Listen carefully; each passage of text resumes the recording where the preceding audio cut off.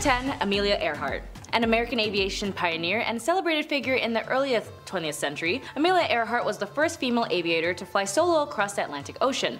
Notably, in 1932, she became the first woman to fly solo non-stop across the Atlantic Ocean, covering a distance of over 2,000 miles from Newfoundland, Canada to Northern Ireland. Beyond her aviation achievements, Earhart was a prominent advocate for women's rights. She encouraged women to pursue careers and goals that were traditionally considered to be male-dominated. Earhart was also an author and a, and a popular public speaker, which I wish I could do, and she wrote several books about her experience in aviation and women's issues. In this photo, what seems to be a normal photo of Amelia is actually the last photo we have of her before she went missing. She may have survived her round the world attempt only to be later captured by Japanese forces. According to a newly discovered photograph, and according to the new History Channel documentary, the photo is found in a National Archive file as it is shown Earhart alive after her plane fell low on fuel during her mission. The photo depicts a woman believing to be Earhart and a man who looked like her navigator Fred.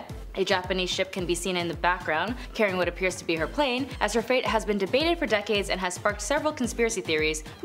What do you guys think? Are people just hopeful? Number 9. Volcano. We all love a good nature tour or park hike, but for this man, David Johnston, he really loved the nature of volcanoes and geology, and ultimately pursued his education in the field. He was working with the US Geological Survey at the Cascades Volcano Observatory in Vancouver, Washington, and he was assigned to monitor the activity of Mount St. Helens, a stratovolcano that had been showing recently a lot of activity. This photo is when he was doing his research on the earthly giant, but tragically on May 18, 1980, Mount St. Helens erupted explosively, triggering a massive landslide and a pyroclastic flow. David Johnston was stationed at the observation post on the ridge known as Coldwater 2, about 6 miles north of the volcano. He radioed in the now famous message, Vancouver, Vancouver, this is it, to his colleagues at the USGS headquarters, alerting them to the eruption. Regrettably, Johnston's post was directly in the path of the advancing pyroclastic flow and he perished in the eruption alongside with many others. His body was unfortunately never recovered and he was only 30 years old. Number 8.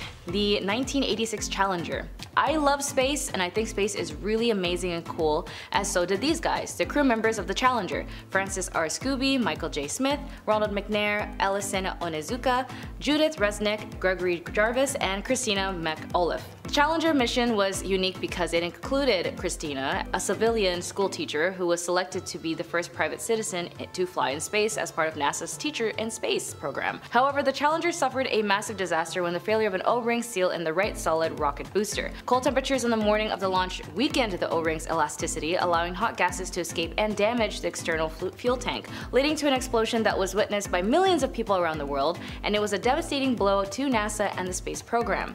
Following the disaster, the Space Shuttle program was suspended for over two years, and significant changes were made to the shuttle's design and launch protocols. After its investigation, the disaster also led to a renewal focus on the importance of safety in human spaceflight. Calling all the ancient astronauts. Number 7 will be about the thigh bone. As you can imagine, this picture you see on screen caused quite a kerfuffle online after NASA released the image in 2014. Understandably so, because this appears to be a thigh bone smack dab in the middle of Mars. NASA, who's just so tired of us and likely assumed that this would happen, pretty much instantaneously released a statement that no, this is not a human or an alien or whatever's thigh bone. This is apparently just a rock that very conveniently eroded by wind or water to look like that. Because notoriously, there's lots of wind and water on Mars. Literally. Anyways, sorry folks, no alien burial grounds are on Mars if we want to believe the Space People Company. Number 6, we get to check out the Skull Nebula, which to me looks like a circle. I don't know, I'm not very sold, but apparently this bad boy creeps a lot of folks out. The Skull Nebula is a consistent in our galaxy, built up of several stars doing an elaborate orbital dance, in the words of NASA. This particular picture was taken in 2020. What earned it the skull name was obviously its ghastly colors reminiscent of, well, a flayed human skull. The telescope's view highlights of the nebula's hydrogen in red and oxygen content which is light blue. Also, if you kind of turn your head to the left like this and look at it sideways, you can kind of see the two stars sitting in what's arguably the eye sockets, a thick red cloud making up the nose, and the empty space where cheeks are meant to be surrounding teeth. So what do you think? Spooky scary skeleton or space dodgeball? Next up is what you probably see when you die. It's number 5, the carbon star. This one, unlike the last, kinda got me. It seemed unassuming at first, but the longer you stare in the little orange glow of the void, the more you pick up. The hexagonal patterns of mist, the layers and colors, it all amounts into a tunnel of sheer oblivion reminiscent to Lightspeed and Star Wars. I feel like if you drink a little bit of funky tea and pull the this picture up on a laptop, you could possibly discover the meaning of the universe somewhere in it. Dare you to try if you're brave. This baleful orange eye is carbon star CW Leonis as seen by the Hubble Space Telescope. NASA and the European Space Agency captured this image in 2021 as the star collapsed inwards upon itself and died. More ghastly figures of the sky. Let's do Ghost Nebula for number 4. Another entrancing surrealist painting-esque image. This photo captured in 2018 by the Hubble Space Telescope is depicting the Ghost Nebula that haunts the constellation of Cassiopeia. It's absolutely beautiful, its spectral-like appearance coming from a veil of swirling gases and dusts. As mentioned, it really does have the cadence of a surrealist painting. To give you comparison, this untitled piece by Salvador Dali shows textures, tones, and shifting lines that I personally find reflective and even haunting about this particular space formation. Even if humans cannot see such things as the Ghost Nebula with our own two eyes, as we stand on Earth with our own two feet, the connection between man and the divine above has always shown through in art. How we spent so long staring up at the wonders above us that even unwittingly, without ever truly seeing them, we've always found ways to capture and convey the sky, the stars, and their artistic fluidity into something two-dimensional, such as the wisps of a surrealist painting. And now we're incredibly lucky to capture these beautiful space formations, such as the Ghost Nebula, in images like the one I can show you today. Number 3 will have you ready to sing This is Halloween. It's a jack-o'-lantern sun. Isn't that the funnest thing you've ever seen though? And while it may look like an impressive feat of Photoshop, this is actually a purely natural phenomena. Similar to our earlier gaping maw, still such an ew name, this jack-o'-lantern face is the result of a series of active regions on the sun bursting and bubbling, making what appears to be a cosmic pumpkin carving appear on the sun. Or maybe it was the work of Jack Skellington. For number 2, we're going to stare into the scariest void of all, the eye of a typhoon. This is our Earth, the one we're on right now, obviously, and in March of 2015, Typhoon Maysak, also called Typhoon Chedeng, went, spent a week ravaging the Philippines, killing five and injuring dozens. During that time, astronauts at the International Space Station were able to look down upon the Category 5 storm, prompting the European Space Agency astronaut Samantha Cristoforetti to capture the horrifying image you see on screen. The power of the formation is visible even from the safe distance of space as rain and lightning hide behind the deadly swirl. And coming in at number 1 is Space Station After Dark. While it could arguably be a still from Insidious 16, the Space Spectre, this nightmare picture is actually just part of the European Space Agency's astronaut Alexander Gerst's photo series, which he naturally chose to make about, no no no no, not pretty stars or colors or Earth cloud rotations, nah nah nah nah. His collection was the International Space Station at night, which evidently is horrifying. But Gerst had been up in space for a full year at this point, so I mean, to him, this was bread and butter, baby. Or maybe freeze-dried bread and butter. The main photo I'd like to address is the empty spacesuits with covers over the helmets, which look like a good start to a horror film. Honestly, maybe I never recovered from that alien horror film life, but space just isn't for me. Starting off with S for Secret. Alrighty, so here is from the Polish Constitution Day celebration in Chicago, specifically the one from 1978. On the left there, all washed out and crappy old flash display style, is First Lady Rosalynn Carter. The guy shaking her hand, or rather just holding it and staring off camera like a waiter just went by with a tray of warm sausage rolls he wants to really get into, is John Wayne Gacy. And if you're also thinking, yo, what is up with this guy being in so many random famous photos? You're absolutely right, and it's genuinely strange how photographed and out there Gacy was. By the time this was taken, he had already killed over 20 people. Also, when he wasn't side hustling as a clown, he was super active in the government and politics, thus why wearing the S on the lapel. It was given to him by the Secret Service to indicate special security clearance. So the S literally does stand for secrets, both the US government's and his own, whose secrets are worse though, huh? Huh? Anyways, at the bottom of the handshake photo, you can see the handwritten address to John Gacy, best wishes, Rosalynn Carter. I've heard beauty is pain, but I haven't heard beauty is the next Saw movie? Check out the Beauty Calibrator. Seeing pictures, you may think it's some sort of Middle Ages torture machine, or as said, literally one of those Saw movie head devices. But surprisingly not, it's another way to point out women's insecurities and find the smallest things possible to make them feel bad over. Meet the Max Factor Beauty Calibration Machine. It is the only one in existence thank God, and in 1932 the makeup legend Max Factor came up with this ingenious invention combining phrenology, cosmetics, and insecurity gaslighting with pseudoscience analysis of a woman's physical flaws. Max Factor's beauty calibrator enabled Hollywood makeup artists to pinpoint where facial corrections needed to be made down to a literal fraction. The machine, also known in the trades as the beauty micrometer, revealed that a natural perfect face was a myth. Every single woman was imperfect and needed correction, and this machine could find it by taking precise measures. It would mark spots that needed to be fixed, and then the artist, once the helmet was removed, could correct all the new insecurities with makeup that you didn't have before you put the stupid thing on. Next up is a photo that's all dramatic flair, the death card. Masseria represented an outdated mindset in the mafia world, one that could no longer be reasoned with diplomatically. The same is true of his rival Maranzano. The ongoing tit-for-tat killing between the two genuinely wreaked havoc on not only the streets but in the mafia hierarchy itself. Those resistant to change generally don't last long, and meetings of the mafia elite tried to bring around at the end of bloodshed, but Maranzano especially consistently manipulated matters to his own advantage. In order to facilitate underworld peace, the consensus turned from diplomacy to the inevitable. One of these guys had to go. The final straw, according to the accountant Nicola Gentile, was when the police informants called Masseria and said knock off the violence. Having an idealism for peace, he actually responded by disarming his men, and they were all pissed. Joe the boss, Masseria, his bodyguards, and Lucky Luciano all met at a seafood restaurant at 3 p.m. on April 15th of 1931. Luciano excuses himself from the card game while that they're playing to visit the bathroom. This is the signal for the hitmen. The bangs could be heard from around the block apparently, as Joe was hit from behind four times in the back and one in the head. And it's born, the infamous Ace of Spades shot. It added to the cult status of this hit, but many expect that the Ace of Spades card was placed between Masseria's fingers after the hit by a photographer just for the shock factor of the press. Number 7 Menendez Brothers. We're all fans of something, whether it's art, music, or sports, and for the Menendez brothers, they would be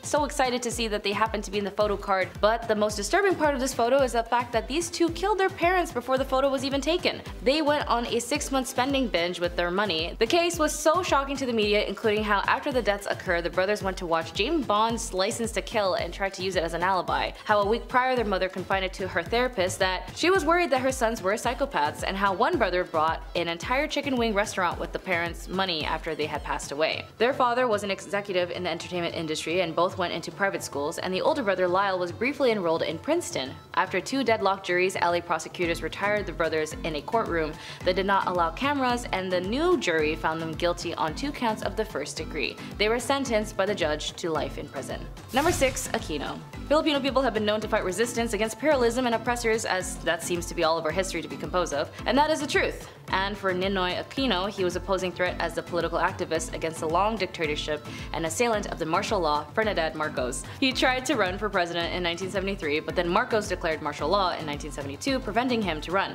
Benigno Aquino, or as we know by his nickname Ninoy Aquino, was imprisoned by the Marcos regime for speaking out against him where he was locked in prison and tormented for seven years. It wasn't until he suffered a heart attack did Marcos' wife Imelda allowed him to go to the United States to get treatment, only under the condition that he does not come back home to the Philippines. But Aquino knew that his love for the people and the Philippines was more important, as there were many people wrongfully prosecuted or just be found dead on the street for protesting against Marcos. He did plan to go back and before he arrived to the Philippines he warned reporters, hey, this might be the last time you ever actually speak to me, and he was right. In this photo was the photo before he left the plane out towards the Philippines airport. He kept saying he had a bulletproof vest on, but the assailant shot him in the head. There were countless reporters that day that knew something was going on only for them to be all shocked to see his body on the ground. There's even footage of his assassination online and his death sparked an outrage throughout all of the Philippines asking for justice. But of course, the United States always has to get involved in something and they were able to get the Marcos family out of persecution from the very people he tormented and controlled for years. Number 5. Tyler Hadley Everyone likes a good party selfie, including Tyler Hadley, who we can see here drinking a party cup with some friends, but what they don't know is that if they walked into the master bedroom was the killed bodies of his parents that he ended moments before the party. Tyler allegedly decided how he wanted to commit the crime a few weeks prior to committing them. He often told a friend exactly what he was planning to do at the time, noting that having a big party after a parricide had never been done before. Shortly after noon, Tyler wrote on his Facebook wall, Party at my crib tonight. Maybe. Around 60 people attended the party at that night, and several had alleged to have noticed the smell of dead bodies. Gross. During the party, Tyler apparently told several people about what he had done. Tyler went on a short walk with a friend and Michael Mandel and confessed the crime. After returning to the party, Mandel discovered the bodies of Blake and Mary Jo in the master bedroom. Mandel did not leave the party immediately. In fact, he continued to spend hours with Tyler and even took a selfie with him, which is what we see. Four hours later, Mandel left the party and called the local crime hotline to report the incident, which is pretty smart on his end because if he did something, then, you know, Tyler would have done something to him. News of the crime was then spread by word of mouth and Hadley was arrested early in the next morning. Number 4. Tank Man. When it comes to revolution, all it takes is one person. After all, a single grain of rice can tip the scale. The Tank Man photograph was taken on the morning of the 5th of June 1989, the day after the Chinese government had violently suppressed protests in Tiananmen Square. An estimated 10,000 civilians were killed in the massacre following weeks of a student-led demonstration in Beijing and beyond against the communist regimes and the suppression of basic human rights and freedom of expression. The image captures a lone man standing in the middle of the Chang'an Avenue just off the square facing down a column of four slowly advancing Type 59 tanks of the Chinese army in a defiant protest. The identity of the tank man still remains anonymous as people don't know what happened to him after, but he has been noted as a notable figure in the stance against militia harm to the people. Number 3. Jolie Callan when it comes to love, if you know something is off, listen to your gut and be safe first. Unfortunately for Jolie, she only left one memory to a friend that something ever happened to her, they know who the cause was. In 2015, 18-year-old Jolie Callan was hiking with her ex-boyfriend Lauren Bunner when he photographed her on a cliff before he pushed her off of it. The 20-year-old killer nearly escaped justice by claiming he was on the autism spectrum in court. This is the exact photo before he pushed her off. Bunner later called the cops and said, I just want to turn myself in for the crime of my ex-girlfriend that happened just a little while ago on Cheheha Mountain. Later that evening, on August 30th, 2015, police found her body still wearing her backpack. Cops believe that he had lured Callahan, who still wanted to remain friends with her former boyfriend, there to kill her because she wouldn't take him back. The court heard him bragging to cellmates about killing the 18-year-old, saying if he couldn't have her, no one else could. Number 2. Omagh if you're lucky, you may have had some cute outing photos with your family and friends when you were younger, and this particular photo seems like an ordinary day with a young girl and her dad, but unfortunately it was actually moments before an explosion incident caused by the real IRA or the real Irish Republic Army, a provincial Irish Republican Army splinter group who opposed the IRA ceasefire and the Good Day Friday and the Good Friday Agreement signed earlier that year. The explosion killed 29 people and injured about 220 others. The red Vauxhall Cavalier containing the bomb, I can't say, can I say bomb? The red Vauxhall, the red Vauxhall containing the explosion, this photograph was taken shortly before the explosion, and the camera was found afterwards in the rubble. The man and the child in the photo both survived, and the injured survivor Marion Radford described hearing an unearthly bang followed by eeriness, a darkness that had just come over the place, then screams as she saw bits of bodies, limbs on the ground while she searched for her 16-year-old son. Alan. She, learned, she later discovered he had been killed yards away from her after the two became separated just minutes before the blast. And finally number 1, Andes. Personally one of the most creepiest photo and it actually made me feel pretty uncomfy with this one. Seems like a cool crew cut photo of just a bunch of dudes, when in reality these are the survivors of an Air Force Flight 571 crash in the Andes. Pilot Fer Ferradas had flown across the Andes 29 times previously and on this flight he was training a co-pilot, Laguara, who was at the controls. As they flew through the Andes, clouds obscured the mountains and the controller in Santiago, unaware the flight was still over the Andes, authorized him to descend to 11,500 feet. The rugby players on board joked about the turbulence at first until some passengers saw that the aircraft was very close to the mountain. That was probably the moment when the pilots saw the Black Ridge rising dead ahead. After the crash, of the 45 people on the aircraft, three passengers and two crew members of the tail section were killed when it broke apart. The survivors had little food, only 8 chocolate bars, a tin of mussels, 3 small jars of jam, a tin of almonds, a few dates, candies, dried plums, and several bottles of wine. Eventually their friends made an agreement that if they ever died, they would offer themselves for them to eat, and so they did. The group survived by collectively deciding to eat flesh from the bodies of their dead comrades, and in the photo you can see on the right, a spine. At the end, 8 people were rescued and they lived. Starting off this list in our number 10 spot we have the Mad Bomber. This is a photo that was taken of someone known as the Mad Bomber. His real name is George Metesky and he was the man who terrorized New York City for 16 years while he planted explosives in public places like an absolute psychopath. I guess he was apparently angry about a workplace injury he had suffered in the years prior to his terrible crimes and so of course the normal reasonable jump to make would be Um, not that at all. While no one should have ever had to suffer because of these crimes, the good news is that while he planted 33 bombs and set off 22 of them, miraculously only 15 people ended up injured in the end. This photo of him behind bars is extremely eerie thanks to his creepy smile and haunting eyes. I might be the only one who feels it, but it just seems like something's off you know? In our number 9 spot today we have the figures of the fire. This photo is both extremely unsettling and super captivating as it shows a scene after the Great Fire at Madame Tussauds in 1925. Of course this wax museum is famous for the extremely lifelike wax figures that are created and find their home there, so you can only imagine the aftermath of the fire. These lifelike figures with missing heads and appendages, burnt skin and hair, and just clothing in disarray. Seeing this photo for the first time without knowing the story behind it was definitely a bit of a confusing and terrifying experience. The heads on the ground really freaked me out for a full 5 seconds. As scary as it is, I'm glad to hear it's not real and just some creative casualties rather than what this photo appears to be at first. In our number 8 spot today we have The Spectre. This is a photo that was taken in England in 1963 and it became known as the Spectre of the Newby Church. That is of course because of the ghostly figure that can be seen in the photo. I personally am always a little suspicious of ghost photos. Some are certainly more convincing than others, but Photoshop in 1963 wasn't exactly as accessible and easy as it is now. This photo is said to have been taken by Reverend K.F. Lord inside of the Newby Church, which is located in North Yorkshire, England. Of course, I mean like many of us are going to do, people were really skeptical of this apparition and just believed it was a well done case of double exposure, which to be fair, is entirely possible. The Reverend continued to swear up and down however that the photo was not doctored, so at this point, there's no proof to prove either side and it's just a game of he said she said. So what do you guys think? Apparition caught slipping or is the Reverend just making it up? Next is a series of photos recovered before they could be lost. Holes in a window. Former LAPD reserve officer turned photographer Merrick Morton was faffing around in the LA Police Department when he comes across a stash of LAPD crime photos ranging in the dates of 1920s all the way to the 1970s. These were cellulose nitrate based film and the negatives were so decomposed they're deemed fire hazard. But Merrick saw enough of the few stills to know that they'd be an absolute effing gold mine. Working with Phototeca Photo Digitation Service and the US National Film Archive, the photos were given a new life. This collection is NSFW and there are hundreds. Now spruced up, the macabre photos are mostly crimes and many of them violent and depicting the bodies or surviving victims' injuries. Obviously the ones you're seeing on screen as I'm talking are tamer, such as my choice, the one you're seeing now, holes in the car window. Something about it gives me a deep sense of discomfort, thus the choice. The collection contains recognizable crimes and faces too, an unusual photo of Maila Nurmi dressed as Vampira, pictures of comedian Lenny Bruce's OD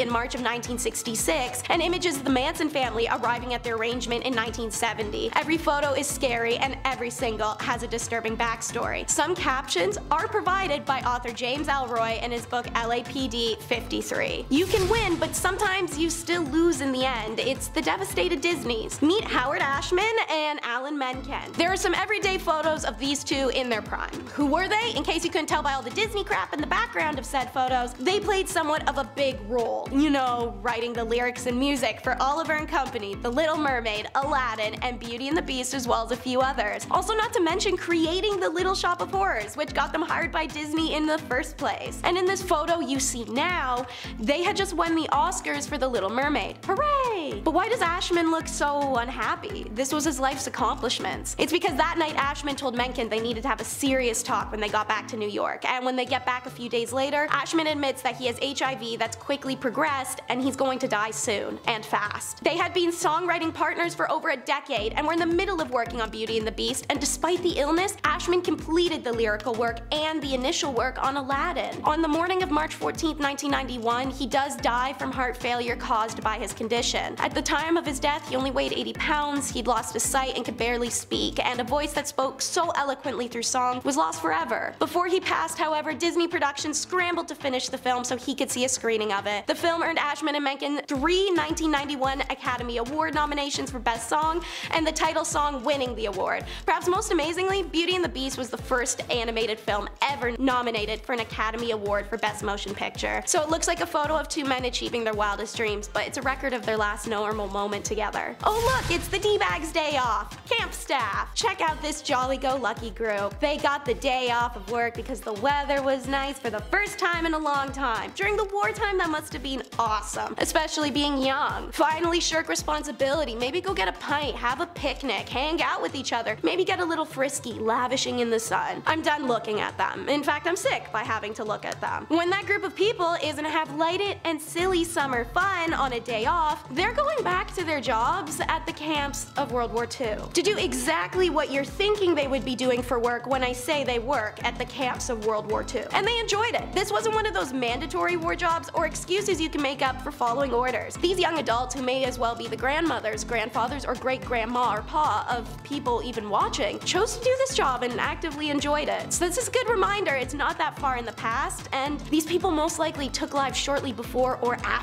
this photo was taken. Uh, did Halloween come early, or is it just Sylvester Claus? Yeah, so um, I chose this photo out of trust me like thousands of equally creepy ones because I feel it truly captures the what the bleep factor this holiday has. And they do it every 31st of December to 13th of January. The Sylvester Clausen of Urnäsch and the surrounding area Appenzell custom that is famous throughout Switzerland. The custom derives its charm from the unique blending of contrasts such as nature and art, mystery and tradition, harmony and anarchy. The Sylvester clause that ushered the old year out and ring in the new. There are three types of these clauses, the beautiful, the ugly, and the pretty ugly. Common to all the clauses are bells in various shapes and sizes that they wear on their bodies. Their rituals begin in the early morning each day. The various schuppel meet at the village square before each group goes its own way. A group will pull up in front of your house, then hop around and jump up and down to make the bells ring, and then they start yodeling at you. You listen to the yodel, they say Happy New Year, give you some cash, some liquor you have to drink from a straw, and then they just leave. Dark backstory gossip, however, in times of poverty and hunger, which afflicted the region frequently, Clausen was a way to earn a little extra money, and in the 1930s, what was known as Belchel Claus, aka the Beggar Claus, began to appear on the streets. Essentially homeless Santa Clauses, but Santa looked like that. As a result, the influx of beggars in the Claus Guide resulted in heavy restrictions, and in the 1950s, the custom had nearly died out. It's only thanks to the initiative of individuals in the 1970s that this got to come back and enjoys enormous popularity today. Somebody come get their creepy uncle. Cannot tell me this isn't the energy this photo gives. Creepy uncle. The woman is unidentified, but definitely a follower to be able to handle that guy's BO and greasy hands on her. It was taken of the Children of God leader, David Berg. This group started in 1968 in California after Berg claimed God himself had gifted him with prophecies. In reality, Berg started making extreme demands of his followers, give up their money, worldly possessions in exchange for limited outside access, horrible cramped living conditions, brainwashing, and oh yeah, would make this group famous for really bad reasons I can't and would rather not get into. Former members of COG have been outspoken about the childhood they suffered growing up in the communes. Actress Rose McGowan, the most famously outspoken, published her story of nine years in the group. Actors Joaquin and River Phoenix, also raised in the cult, had it harder than Rose, and that trauma plagued River especially. He was actually the original heartthrob of the 80s and 90s, a role, fun fact, DiCaprio only managed to take once River's substance addiction caused by his traumatic childhood unfortunately took his his life. So more of an unfun fact, but the matter stands that River painted the way for DiCaprio and this psycho ruined a lot of people's lives. Have you ever seen a photo you can feel? Before you see the photo itself, you're gonna learn about the man in it. So, Joseph Goebbels, a National Socialist politician and propagandist who held multiple high-rank roles in the uh, Yahtzee party. As a party chief for Greater Berlin, 1926 to 45, Reich leader of propaganda, 1929 to 45, and in 1933, the pushbroom mustache twit appointed Joseph the Minister for Propaganda and Public Enlightenment. He was a devout, unbridled through and through bigot, a tireless agitator, and the propaganda this man designed, wrote, and funded had shipped through dozens of countries and shaped the perspective of Jews in a way that can actually never be undone. It's this propaganda many people still cite when asked for factual basis or logical argument as what Jews had done oh so wrong. It's Joseph who orders the mass burning of literature, who sentenced thousands thousands to death and who made up lies to ensure hatred, a hatred that still stands today. And I want you guys to see how he looked at them. So here is the photo, finally. This is a picture of Joseph Goebbels taken only seconds after he found out the photographer was Jewish. In this photo, you can feel it, and it's effing terrifying. And now, the last photo is from El Monte, 6 May. That's the date written on this photo from the LAPD Collective, and it's the only other photo from said collection I chose to put on this list aside from the holes in the car window. As follows is the photo and James Ellroy's written description of it. This is a detective modeling a mask worn by Baxter Shorter's crew. Shorter was in a gaggle with Emmett Perkins, Jack Santos, and Barbara Graham. The three of them then killed an old woman named Mabel Monahan on 9 March 1953. Shorter was appalled by his gaggle's violence. He ratted the others out and Santo and Perkins kidnapped him in front of his pad on Bunker Hill, took him to the mountains, and killed him. Shorter had a sister that lived in El Monte, and they were hunting through it for evidence. This mask was in her pad. James Ellroy. If Mabel Monahan's former son-in-law Tudor Scherer hadn't been a Las Vegas gambler, the 60-year-old widow probably would have never been killed. Also, if she didn't stay friends with him after he divorced her daughter, that'd probably have helped. But she did, and people found that weird. So there had to be something at play, right? Maybe Scherer trusted her so much he stored his 100 grand floats there. Ex-cons Emmett Perkins, John True, and Jack Santos think that and they plan to take it. Barbara Graham joins the group to be their key into the door. Mabel takes a while to open up, but Barbara persuades her with the story of a broken down car and pleas for the phone. Mabel was reluctant, but the young woman was alone, and the widow knew firsthand how scary it could be for a woman to be on her own at night, so she let her in. And in comes John True, Jack, Emmett, wearing rubber masks. We're gonna take a pause. Ladies and female presenters, our own sex does not guarantee our safety, and you can't predict anyone's intentions. Please trust your gut if it says don't open that door. Mabel is struck on the head, left gagged and bleeding in the hallway. The group ransacks her home for a safe that never exists and panic when there is none, so they just leave her there. Mabel is dead for two days in her home before she's found. The investigation into the slaying of the Burbank widow began, and it was a long one, filled with drama. In the end, the four are charged with conspiracy to commit burglary, robbery, and M-word on June 3rd, 1953, in the death of Miss Mabel Monahan. To start us off, it doesn't matter if I'm dead or alive, you should invite me. Number 10 is Skeletal Dinner Guest. For my people who hate to feel discluded, you'd probably love the members of the Postmortem Club. All members were present when they held their annual breakfast meeting, including club president J.M. McAdoo, who had died the previous year. You'll see in the photo presiding president Oakley Smith, club members, and the skeleton of Mr. McAdoo gathered together for breakfast with the skeleton at the head of the table. One of the rules of the club is that each member will will his or her skeleton to it for attendance to the club despite death. They even gave him a cigarette as you can see because smoking can't kill you if you're a skeleton. Number 9 is human depravity at its finest, the Stanford Prison Experiment. University professor Philip Zimbardo's execution of a power imbalance study in a prison ended disastrously. The Stanford Prison Experiment commenced on August 14th of 1971 with student volunteer groups comprising of 11 guards and 10 prisoners to see how they would behave on their own inside of a fabricated prison. The goal was to assess how quickly and intensely even educated or normal people can turn into cruel or sadistic ones under the right conditions, and man was it fast. Six days in, Philip had to call off the experiment as guards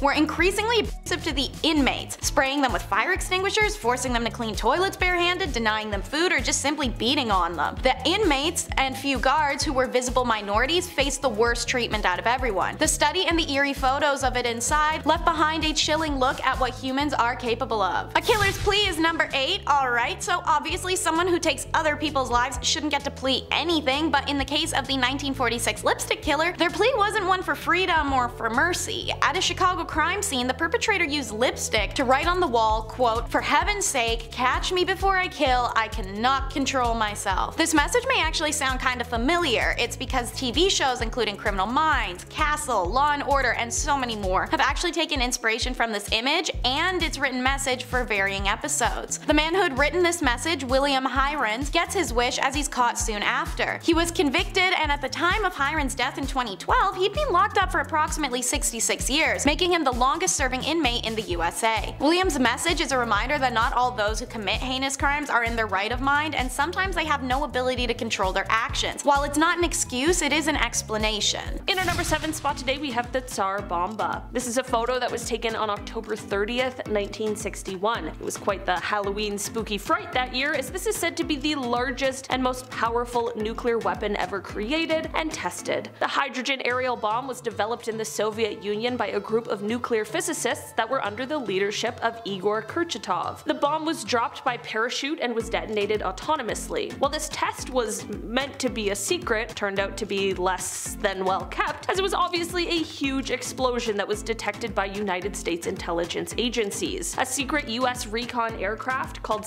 Speedlight Alpha was there monitoring the explosion, and it got so close that it had its anti-radiation paint absolutely scorched off. The photo clearly shows the bomb as it exploded, and it is said that this bomb was 5,000 times stronger than the ones that were dropped on Japan during World War II. That's not to say that those ones weren't strong because they were absolutely devastating, it's just an example to show how large this one really was. In our number 6 spot today we have the Three Jacksons. On August 21st, 1934, three fearless acrobats known as the Three Jacksons, Charlie Smith, Jewel Waddick, and Jimmy Kerrigan all performed a routine on the edge of the Empire State Building, which is when this photo was captured. It is said that these three toured as an acrobatic trio, and this stunt the photo captured was done at 1,245 feet. According to officials from the Empire State Building, it is said that this was the first time the stunt was attempted, and to this day, it has never been done again, which makes a lot of sense. While this photo is absolutely incredible and is such a testament not only to the trust that they shared but also their abilities as acrobats, I don't know who in their right mind would try to recreate this. We already have one, I think we can just all be happy with that. In our number 5 spot today we have the Gentleman of Raahe. This photo shows the Gentleman of Raahe and that is not a gentleman and instead is the world's oldest surviving diving suit. It is an absolutely terrifying sight but also an important pillar that allowed for this kind of technology to develop to what it is today. The suit dates back to the early 18th century, but it came to find its home at the Raahe Museum during the 1860s after it was donated. The suit was initially designed to allow people the ability to check the hull of ships without having to bring them into dry dock. The old gentleman is made mostly of leather with pitch thread used to stitch the seams. From here, the suit is sealed with more pitch, and then to create the waterproof coat, it is covered in a mixture of mutton tallow, tar, and pitch. Of course, underwater pressure increases dramatically, and this is why there's also wooden framework in the hood in order to keep it from collapsing under the pressure. At the top of the hood there is an opening for a wooden air pipe. The air would be pumped to the diver, then it could be released from the suit through a pipe on the backside. Of course, this means that the suit wasn't completely watertight, so divers could only go under for a short period and couldn't dive very deep because there was only so much pressure the suit could take, but still, the suit was far better than having no suit at all. In our number 4 spot today we have ectoplasm. This photo is said to have been taken in 1910 and it shows a medium in the middle of a spiritual seance. I don't know about you, but a 1910 seance sounds like an absolutely terrifying time. This photo is said to be catching the moment that ectoplasm appears out of the mouth of the medium. When we're talking about the occult and the paranormal, ectoplasm is a viscous substance that exudes from a spiritual entity or sometimes the earthbound medium who is connected to or communicating with the spirit. It is said that this substance can take the shape of a face or a hand or a complete body, and it's usually seen in a darkened room during a sort of seance, and this is the way that the paranormal can physically manifest themselves in our world. So basically, what I'm saying is that this is supposed to be the moment that an evil entity is making themselves known in our world. Thankfully, at the end of the contact with the spirit, the ectoplasm will usually disappear as it returns to the entity, so it hopefully didn't stay around long, but this photo sure is something. In our number 3 spot today we have the isolator. There are tons of strange inventions from the past. We have entire lists and videos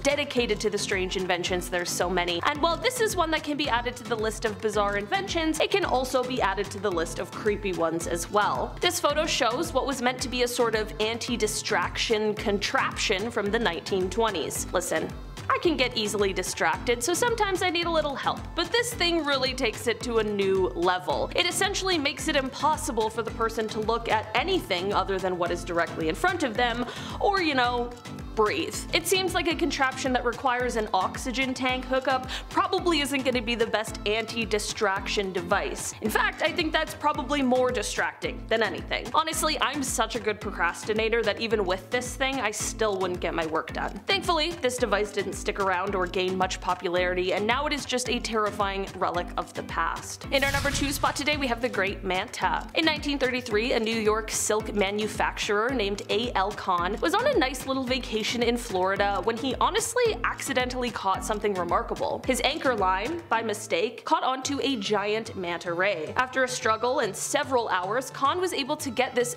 actually enormous fish ashore. This monster was somewhere between 5,000 to 6,000 pounds and was 20 feet and 5 inches in width. For reference, there are other giant manta rays, but they usually grow to be around 13 to 14 feet wide, not 20 and a half. This photo is showing a taxidermy version of the fish, which Kahn used to bring around to exhibitions to show off his accidental cache. In an article from December 10, 1933 of the St. Louis Post-Dispatch's Sunday magazine, Kahn is quoted as saying, Fishing is a lot of fun when you catch the fish, and sometimes it's fun even when you don't, but when the fish catches you. And finally, in our number one spot today we have the advertisement. This is a photo that comes to us from the time of World War II, and it shows a very terrifying kind of ad. The sign reads, these men didn't take their Atabrine, and at first I had absolutely no idea what that was. Turns out that Atabrine was actually the first synthetic form of a drug which was used by the US military to fight malaria in the South Pacific during the war. It is estimated that as many as two-thirds of the troops fell ill with malaria. The sign is said to have been posted outside of a military hospital in New Guinea and was meant to serve as a warning for those who didn't take the medicine, warning that the skulls on top would be the fate that awaited them. Perhaps a little dark, but creative and likely effective nonetheless. At the very least, the ad is definitely quite clear. First up is captured in a card. Alrighty, so you see this basketball card here. So centered, we've got Mark Jackson back in 89 playing a Knicks game. But over here in the far left background, we have familiar faces of Lyle and Eric Menendez. In 1990, the Mark Jackson NBA Hoops card went into circulation, a year after the two Menendez brothers depicted in the background killed their parents for life insurance in August of 1989. The brothers claimed a massive payout that allowed them to live a luxurious lifestyle, spending money on expensive watches, clothes, and cars. Among the items that they bought were tickets to a basketball game at Madison Square Garden, where they would eventually be immortalized on an NBA card. To make it a little creepier, logistically, this moment captured would have been between when they killed their parents and when they were arrested. Speaking of sports, there's such a thing as the wrong time to cheer, which is our next photo. See, this is Mike Hawthorne and Ivor Bueb celebrating with champagne after winning the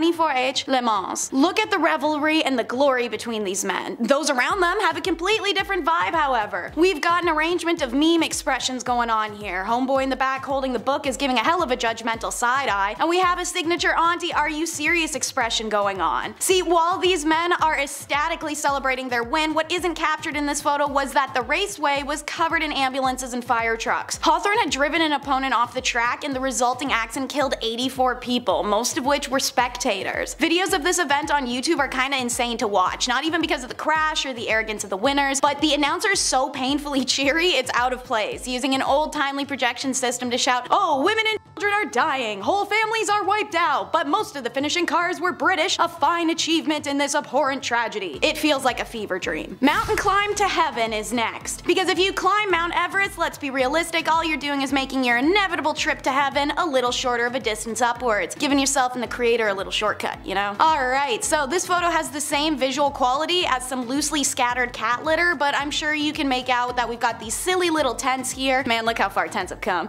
As well as these two dudes and what it looks like high socks. This is the 1924 British Mount Everest expedition. We've talked about a few Mount Everest climber groups and things that have happened to them in a few of our videos, so you may be familiar with this one from our channel. That or literally any Mount Everest movie. They tend to either pick one specific story to document or mismatch all of them together for one plot and then throw Jake Gyllenhaal up on a mountain. Anyways, this photo was taken of George Mallory and Sandy Irvine, shortly after they made their ill-fated attempt to get to the summit. While Mallory's body is found literally decades later in 1999, the body of Irvine never has been. Number 7 is the sacrifice of Michael Rockefeller. Michael Rockefeller was the son of New York Governor and soon to be US Vice President Nelson Rockefeller, and he famously disappeared in Papua New Guinea in 1960s. This photo is of his first trip there. Rockefeller can be seen centered and smiling as indigenous peoples circle and run around him. Michael's known for his travels. He loved to visit the unexplored and untouched areas of society and learn about cultures many considered primitive. He saw the art and beauty in them. This desire for adventure took Rockefeller to the remote reaches of Papua New Guinea in 1961. They arrived near the island of Dutch on November 19th, and even though they were 12 miles from shore, Rockefeller reportedly told anthropologist Renee Wassing, I think I can make it, and jumped into the water and headed for land, and was never seen again. It's believed at first that he drowned, but Rockefeller had done a swim like that to shore actually multiple times. Because he was a member of a super rich American dynasty, there was a massive search. Ships, airplanes, helicopters, everything combed the region for any sign of him. They found nothing. National Geographic reporter Carl Hoffman offered a far more disturbing thesis than drowning in his 2014 book, Savage Harvest. The island Rockefeller swam to was inhabited by the Asmat, an uncontacted and primarily unfriendly indigenous clan. Hoffman claims to have uncovered evidence showing that Rockefeller made it to land where he was then decapitated by the Asmat people before they ceremonially him, eating his brain and using his bones likely to make weaponry and other items. The confusing unanswered end of Rockefeller Heir has since been debated, but it will always remain unsolved sadly. Number 6 is we're leaving on a UFO. Not as catchy as a jet plane, but Marshall Applewhite was told by aliens it was a UFO indefinitely, so Marshall had been told a lot of things by the aliens, as had his wife before her passing. Affectionately self-dubbed as Ti and Do after the musical scales, they believe themselves to be of the highest caliber, like Ti and Do are on the scale. The cult these two began, Heaven's Gate, is famously recognized for the tragic mass departure members took on March 26 of 1997. It's on that day that the 39 members of the cult were convinced to consume a mixture of barbiturates and applesauce and then washed it down with vodka, as one member walked around to each poisoned person and tied bags over their heads to ensure asphyxiation. This mass taking of life was discovered days later when panicked family members of cult members hadn't heard from them. One former member went to go find his beloved wife and well I'm sure you can imagine what he found What was confusing for many was to find the group covered in purple shrouds with their feet sticking out. They wore Nike sneakers with the classic white swoop. They believed these wings were going to carry them to the heavens. Countless photos were taken by FBI and police, most of which have been leaked to public by now and depict this very scene that I'm describing. Confusing and devastating, this loss was international news and a reminder to always be aware of your own susceptibility to influence. Number 5 is the frozen man of Mount Everest. And yeah, yeah, I get it. We all know that there's tons of frozen bodies along Mount Everest, but that's not what I'm actually talking about this time. The photo you'll see is of mountain climber Beck Weathers, who in May of 1996 attempted to complete the final leg of the ascent on Everest. Despite how short the distance was, the journey caught up to Beck, and he came down with a case of snow blindness during an intense blizzard that had a wind chill of 100 degrees below zero, and he fell into a hypothermic coma. Initially, I thought I was in a dream, Weathers later recalled. Then I saw how badly frozen my right hand was, and that helped bring me around to reality. Beck was left for dead, first by his exhibition and then the second time by a rescue crew doctor who believed him beyond saving. So it's only by miracle that Beck manages to break a hypothermic coma, turn around, and walk back to base camp. When he reaches camp, Beck is airlifted immediately as frostbite set in on his nose and hands, both of which are later amputated. This moment is caught in photograph and shows the frozen hand, and Beck visibly unconscious, being carried in a red sleeping bag. This ascent to Everest is remembered as the 1996 Mount Everest disaster and is famously covered in Jon Krakauer's book Thin Air and its 1997 adaptation as well as films Everest and Everest 2015. So, by the way, they prematurely told Beck's wife and family he had passed away. Can you imagine that emotional roller coaster? Number 4 is the Maori trophy heads. The native Maori of New Zealand had a cultural practice of preserving severed heads of enemies for trophy and warning purposes. They are called mokomokai, and these heads were processed by first, of course, getting chopped off, but then boiled, smoked, and sun-dried. The Maori would then coat them in shark oil to prevent cracking and peeling before mounting them. When British colonizers invaded the land during the 1840s, the Maori heads were one of the famously pillaged artifacts and treasures of the colonial era. Major General Horatio Gordon Robley was in service for the British Army when they were invading and pillaging New Zealand in the 1960s. He was particularly enthralled by the Maori heads, and the absolute piece of you know what actually stole 35 of them for his own collection. You can see him in this photo, sitting at the base of a wall with Maori heads mounted upon it. Naturally, like most of what was stolen by British colonialists for the crown and or for themselves, these items were never returned to their rightful peoples and instead earned profit in British museums or collect dust in storerooms. Since the 1970s, New Zealand has had a strong record of requesting those remains back from overseas. The first major international reparation of a toi moko happened in 1985, and in 2003, New Zealand created its first government-funded international reparations program. It's now seen the return of 800 Maori and Moriori remains. Number 3 is the Ruhr Cannibal demonstration, an image caught by police officers as the Ruhr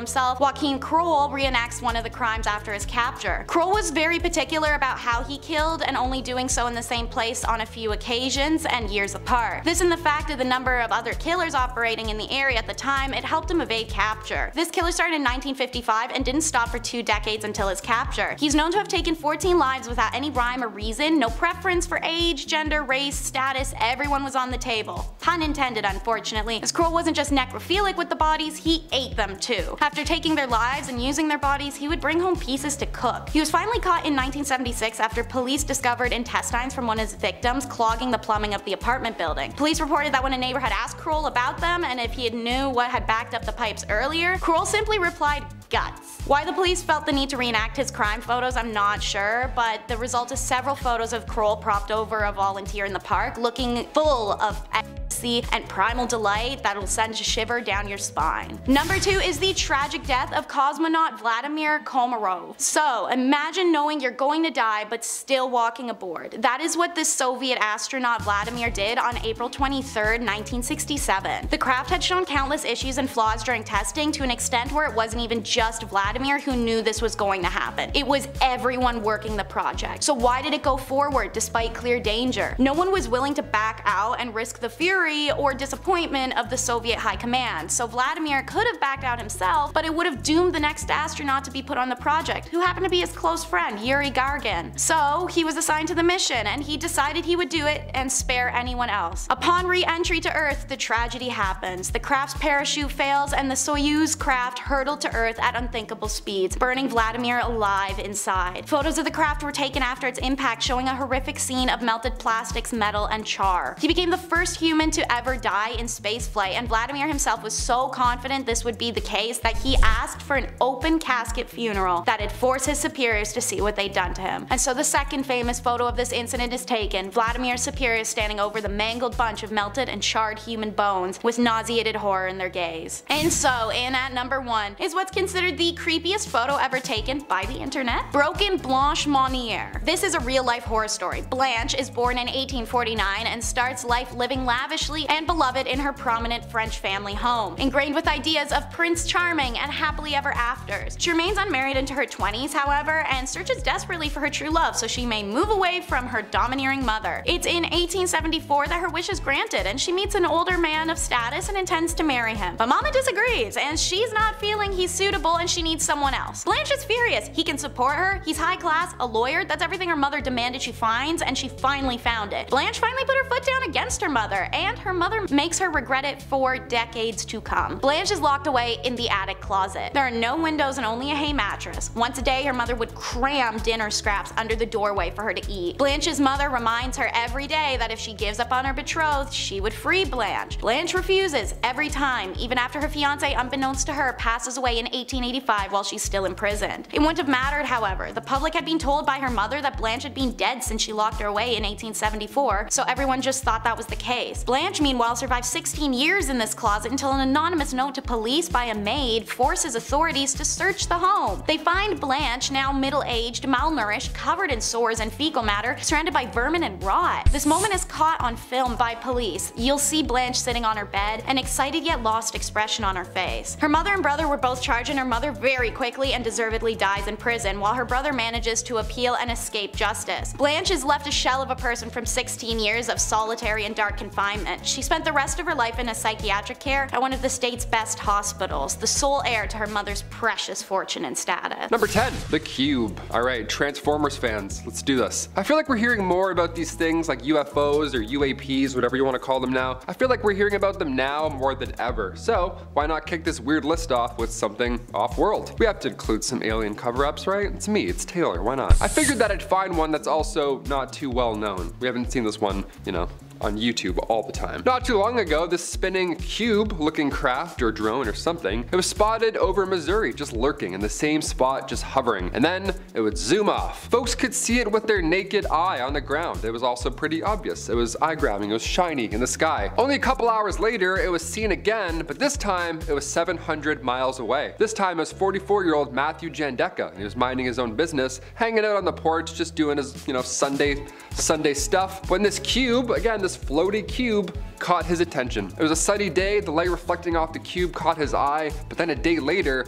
another guy 30 year old Justin Johnson, he saw the same thing, but this time he saw it while he was driving home, which is also pretty distracting. The light and the reflections also caught his eye. He says, at first I thought maybe it was a balloon, but the movements were too odd. In a world full of deepfakes, I mean, do we believe this account? Is this real? Lately everyone's talking about how these UFOs are spheres, so maybe this video is that of a sphere not a cube. That's cool. I love teaching geometric shapes via alien aircraft. I'm like, this is a triangle. We saw this one in the Navy, and we saw this cube in the sky. Number nine, Amityville photo. Okay, we'll go less UFOs, more ghosts. One M. Night Shyamalan theme to the other. Here we go. This photo was taken inside the actual Amityville house back in 1976. It's a young man, it appears, with glowing white eyes. How comforting is that? Pretty, pretty hard to miss there. He's got the glowing Yep, looks very Sin City of him, just to stare with those white eyes. Now at first I thought this was from a horror movie, right? All those Amityville knockoffs. It looks obviously fake or set up in some way, until you start to read about the details here. See this photo, it was taken with automatic cameras equipped with infrared, not an actual person. So this young lad here probably wasn't expecting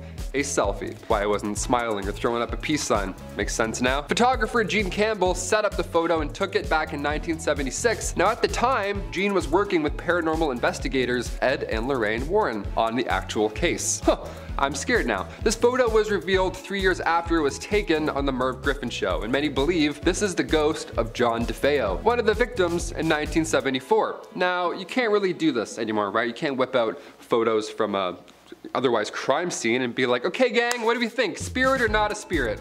Vote? Yes? No? Obviously there was backlash after this for obvious reasons, but it took three years for that photo to reach the public eye, and now everybody believes in ghosts, or they do a little more than they did before that show. This was long before the Conjuring movie as well, obviously, so this was quite random to see on TV. Do you believe in ghosts? What's the ratio here? Comment down below. I'm not a believer, I'm not gonna lie. I've tried numerous times. I got the Ouija board, did the whole thing, felt nothing, man. Like an 18 year old on Christmas. I'm like, is that it? Is it done? Do I have to feel anything anymore? Number eight, Alfred Hitchcock and the MGM Lion. All right, you're gonna hear me roar after this one. This photo was from 1958. You've seen this at some point, right? Hopefully, or else, you know, we'll send over a VHS, we'll help you out. It was taken by Clarence Sinclair Bull. Now the photo appears to be, well, no, it doesn't appear to be at all. It's Alfred Hitchcock serving tea to a lion. Yeah, the famous MGM lion. His name's Leo. That's him. There he goes. He's getting tea. He loves suspense and tea. Who would have thought? And company, it appears. North by Northwest was the only film that Hitchcock did with MGM. So there's a rumor now that he directed The Lion's Roar for the MGM intro, which is fun. But you're also like,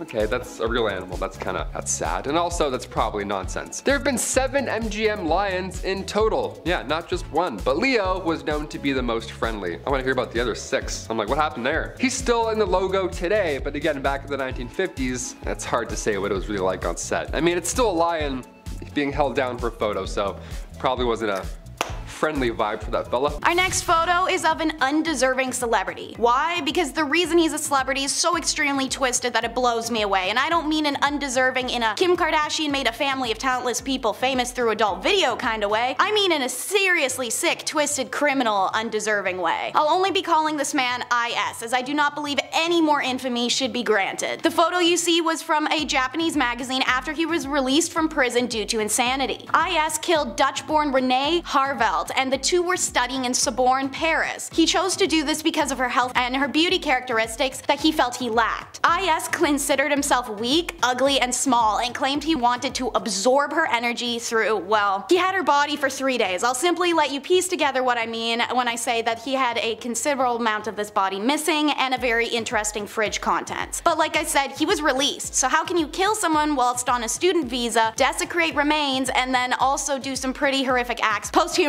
he is from a very wealthy Japanese family and they somehow managed to get him released. Also, they paid the victim's parents a huge sum of money for the loss. That's the world we live in. After his release, he was frequently on talk shows, reviewed restaurants for magazines, and appeared in horror films. He even wrote a book on the murder of Renee. This next photo shows us you never know what could be just a reach away. This photo photo looks relatively normal. Now obviously it's not gonna be, it's on this list, and the fact that it's titled about reaching out to something, well, Sarah Funk, who you see here on the waterline, is a YouTube vlogger who's on a trip to Cyprus's Red Lake. And you can see her literally like two feet away from a suitcase lodged in the waterbed. It's two years after this photo is taken in 2019 that the drifting suitcase is retrieved and opened to reveal the corpse of a girl. She is one of seven known victims of serial killer Nikos Metaxas, whose signature was doing body dumps in suitcases. It's believed the reason this case was retrieved in the first place was due to previous sightings of it in the water once other victims of Nikos had started to be found and identified at the same time period. Sarah Funk has since commented on what it's like to know that she was so close to a body without being aware. I thought it was a log at the time, but in retrospect, I realized it wasn't. This is a completely fair explanation as you can see from that picture the case was incredibly dirty and hard to identify even as a briefcase. This man is the first recorded serial killer on the island of Cyprus and is currently serving 7 life sentences in central prison. Our next photo is recreating time. Pun is intended. The photo you see on screen is very peculiar but not the most outlandish. It's a man standing shirtless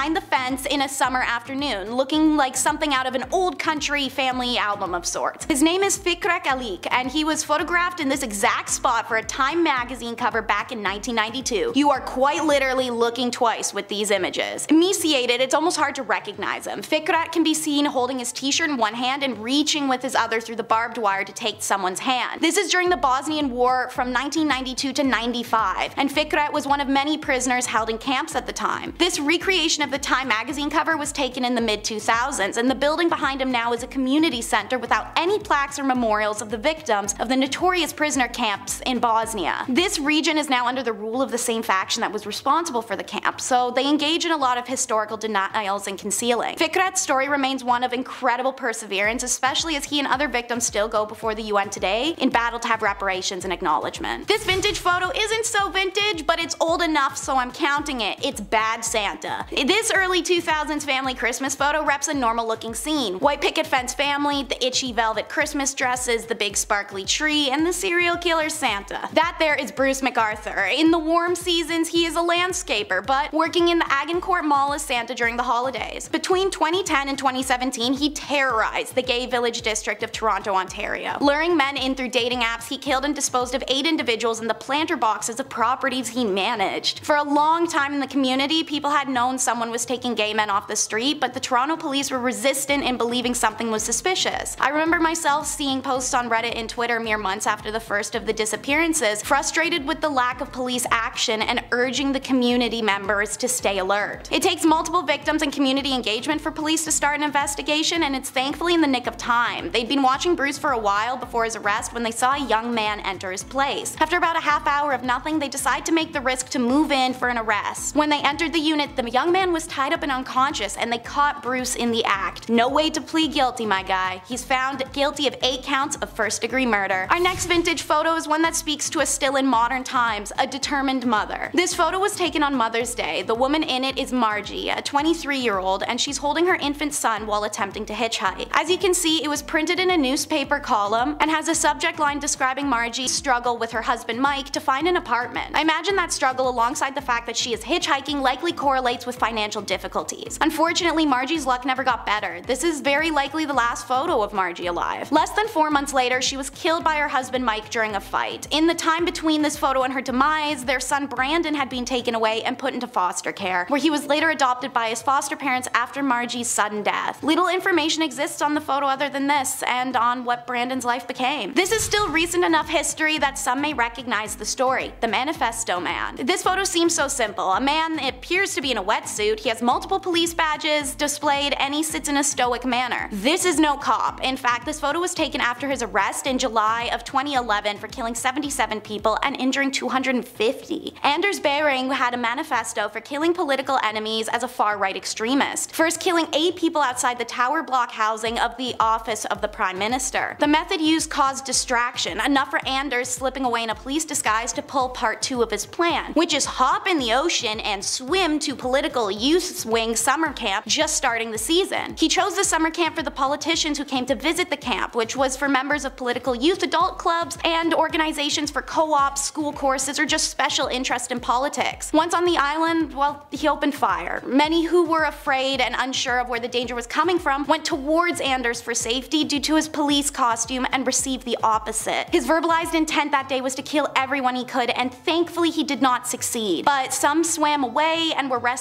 by people staying at campgrounds across the water who brought out boats to pull everyone out. Others hid in various places on the island. Netflix released the film 22nd of July about this event in Oslo, and the movies White Rage and Bravehearts also tell the story. Ultimately, this event only took place due to Anders' racist ideology, believing Norwegian politicians were lenient on immigrants. Let's talk about the most disastrous hostage crisis our world might have ever seen, the Gladbeck hostage bus.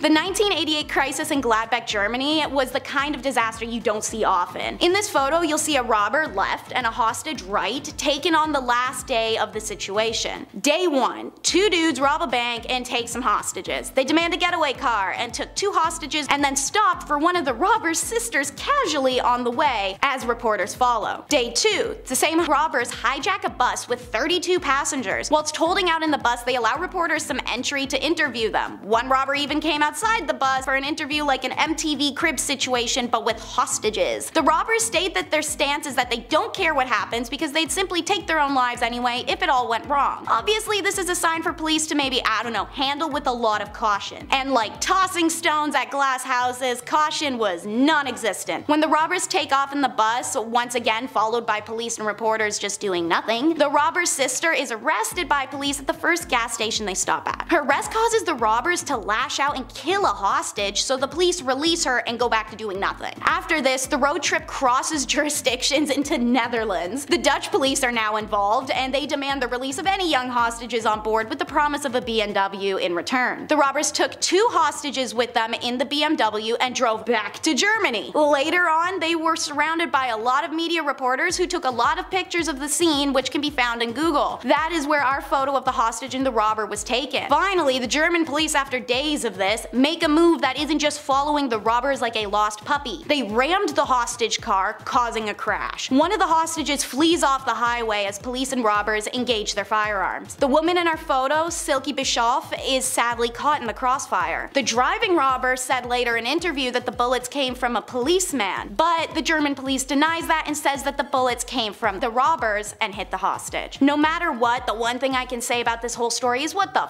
was anyone trying to accomplish here? Starting off this list in our number 10 spot, we have the eruption of Mount St. Helens. Mount St. Helens is a stratovolcano located in Skamania County, Washington. This volcano is best known for its huge and disastrous eruption on May 18, 1980. This photograph comes from photographer Robert Landsberg, who of course was in the area at the time of the eruption. Before the eruption, he had visited the area in order to photograph and document all of the changes that were happening. On May 18th, he was within a few miles of the volcano when it erupted. Since he unfortunately was located so close to the explosion, he knew he would be unable to escape this disaster, so instead of focusing on the impossible, he focused on taking as many pictures as possible. Robert was obviously incredibly brave and dedicated, but also very smart. After snapping as many photos as he could, including this one, he then secured his camera in his backpack and covered his backpack with his body. He knew he was unlikely to survive but wanted to make sure that these photos did. His body was found 17 days later with his backpack still underneath him. His film was of course, um, his film was of course developed and has provided geologists with some really valuable insights with his close documentation of the eruption. In our number 9 spot today we have the core. This photo shows a physicist named Harold Agnew, and while this looks like a relatively normal, non-threatening photo, what he has in his hand is truly devastating. Harold is holding the nuclear core of what was nicknamed the Fat Man atomic bomb. This means that Harold is holding the nuclear core of the atomic bomb that was later dropped on on Nagasaki in 1945. The immediate blast of course took many lives, but so did the long-term effects of the bomb, like radiation illness and that sort of thing. It's crazy to look at a photo like this because it seems just so perfectly normal when he literally has a life-changing, world-ending device in the palm of his hand. Also, I don't think I could ever hold something like that. Not only would I just like not want to, but I would just be so afraid that something was gonna go wrong. In our number 8 spot today we have the Challenger crew.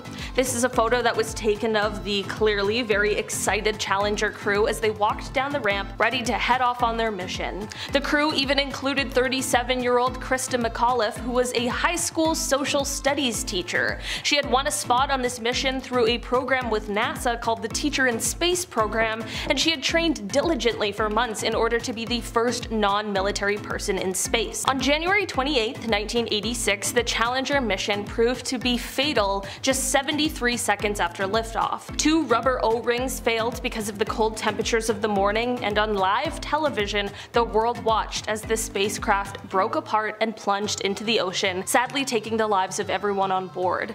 It is an absolutely tragic event made even more chilling by this final photo. Number 7. Gloria Steinem. Oh, here we go, a scandalous one. Back in 1963, the Playboy Club in New York City was booming. It was one of Hugh Hefner's greatest accomplishments at the time. This club was the talk of the town, that is until Gloria Steinem came in and started reporting some stuff. Gloria was a feminist writer, she's an icon. She created Ms. Magazine back in 1972, but her career began much earlier around the 60s. See, she got a job as one of these Playboy bunnies, you know, must be a comfortable getup. And she worked at the club undercover, secretly taking note on how this key holders only establishment was operating, right? Cool, what's going on here? What's the big scoop here? The staff were these young women, these beautiful young women, these bunnies. They had to wear the black bodysuits, the puffy white tails, the whole getup, and at age 28, Gloria worked undercover there for three weeks straight. And the piece she released after, appropriately titled A Bunny's Tale,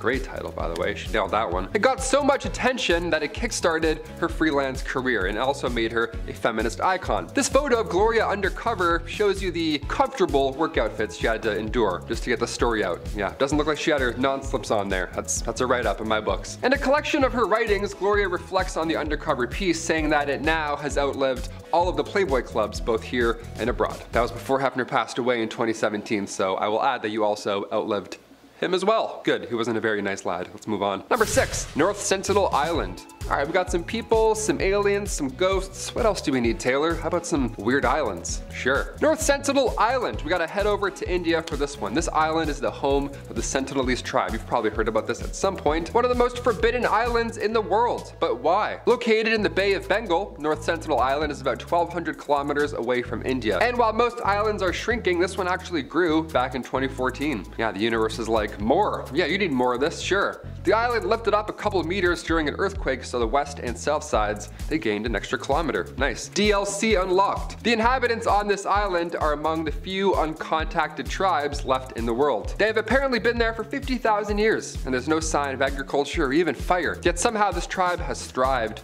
for ages. Now, if we try and get close, they will try and drive anybody away. More than fair. Like, we have enough room. We're good. Let's just leave. In fact, back in 2006, two fishermen sadly lost their lives because they got too close to the island without knowing who was on it or what the island was. Yeah, you can't just approach random islands. You gotta do some homework.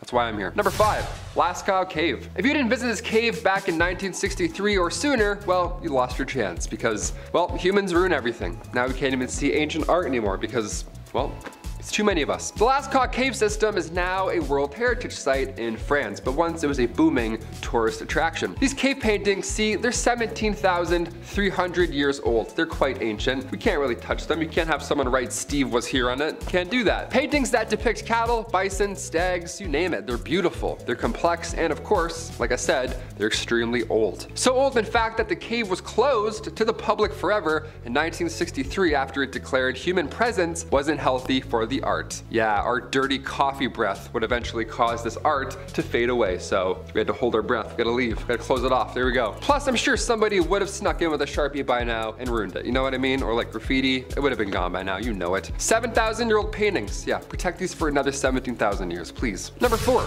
Surtsey Island, another fun island, another weird story, here we go. When it comes to new things in life, it's pretty rare that we get a new island, right? Especially on our planet when we're losing things and melting. How lucky are we? Sure Sure, we're even luckier that Disney didn't build a resort here first, because now scientists, now they get a chance to study what an island looks like without human interaction. That's a fun little project to focus on in the future. That's cool. It's pretty cool. It's weird and scary, but it's cool, I guess. Yeah, I'm kind of nervous. I don't know. Surtsey Island in Iceland, as of right now, it's only open to a few scientists and geologists. Everybody else, beat it. Go find your own island. Get out of here. It was born from a volcanic eruption back in 1963, and scientists, they have one rule on this island. Don't talk about Fight Club. And the second rule is no seeds. Yeah, no life, no chance at life at all. Choose something else, anything else, please. One guy accidentally pooped out a tomato seed and he almost ruined the whole operation. Guy almost ruined his entire plan. What a stressful job. It's so eerie to see the oldest human history and then immediately after see a new island where humans are forbidden. It's like, we're not allowed to go and be places anymore. I'm kind of, uh, not, that's not great. What are we doing here? I'm just breathing on things? I can't take a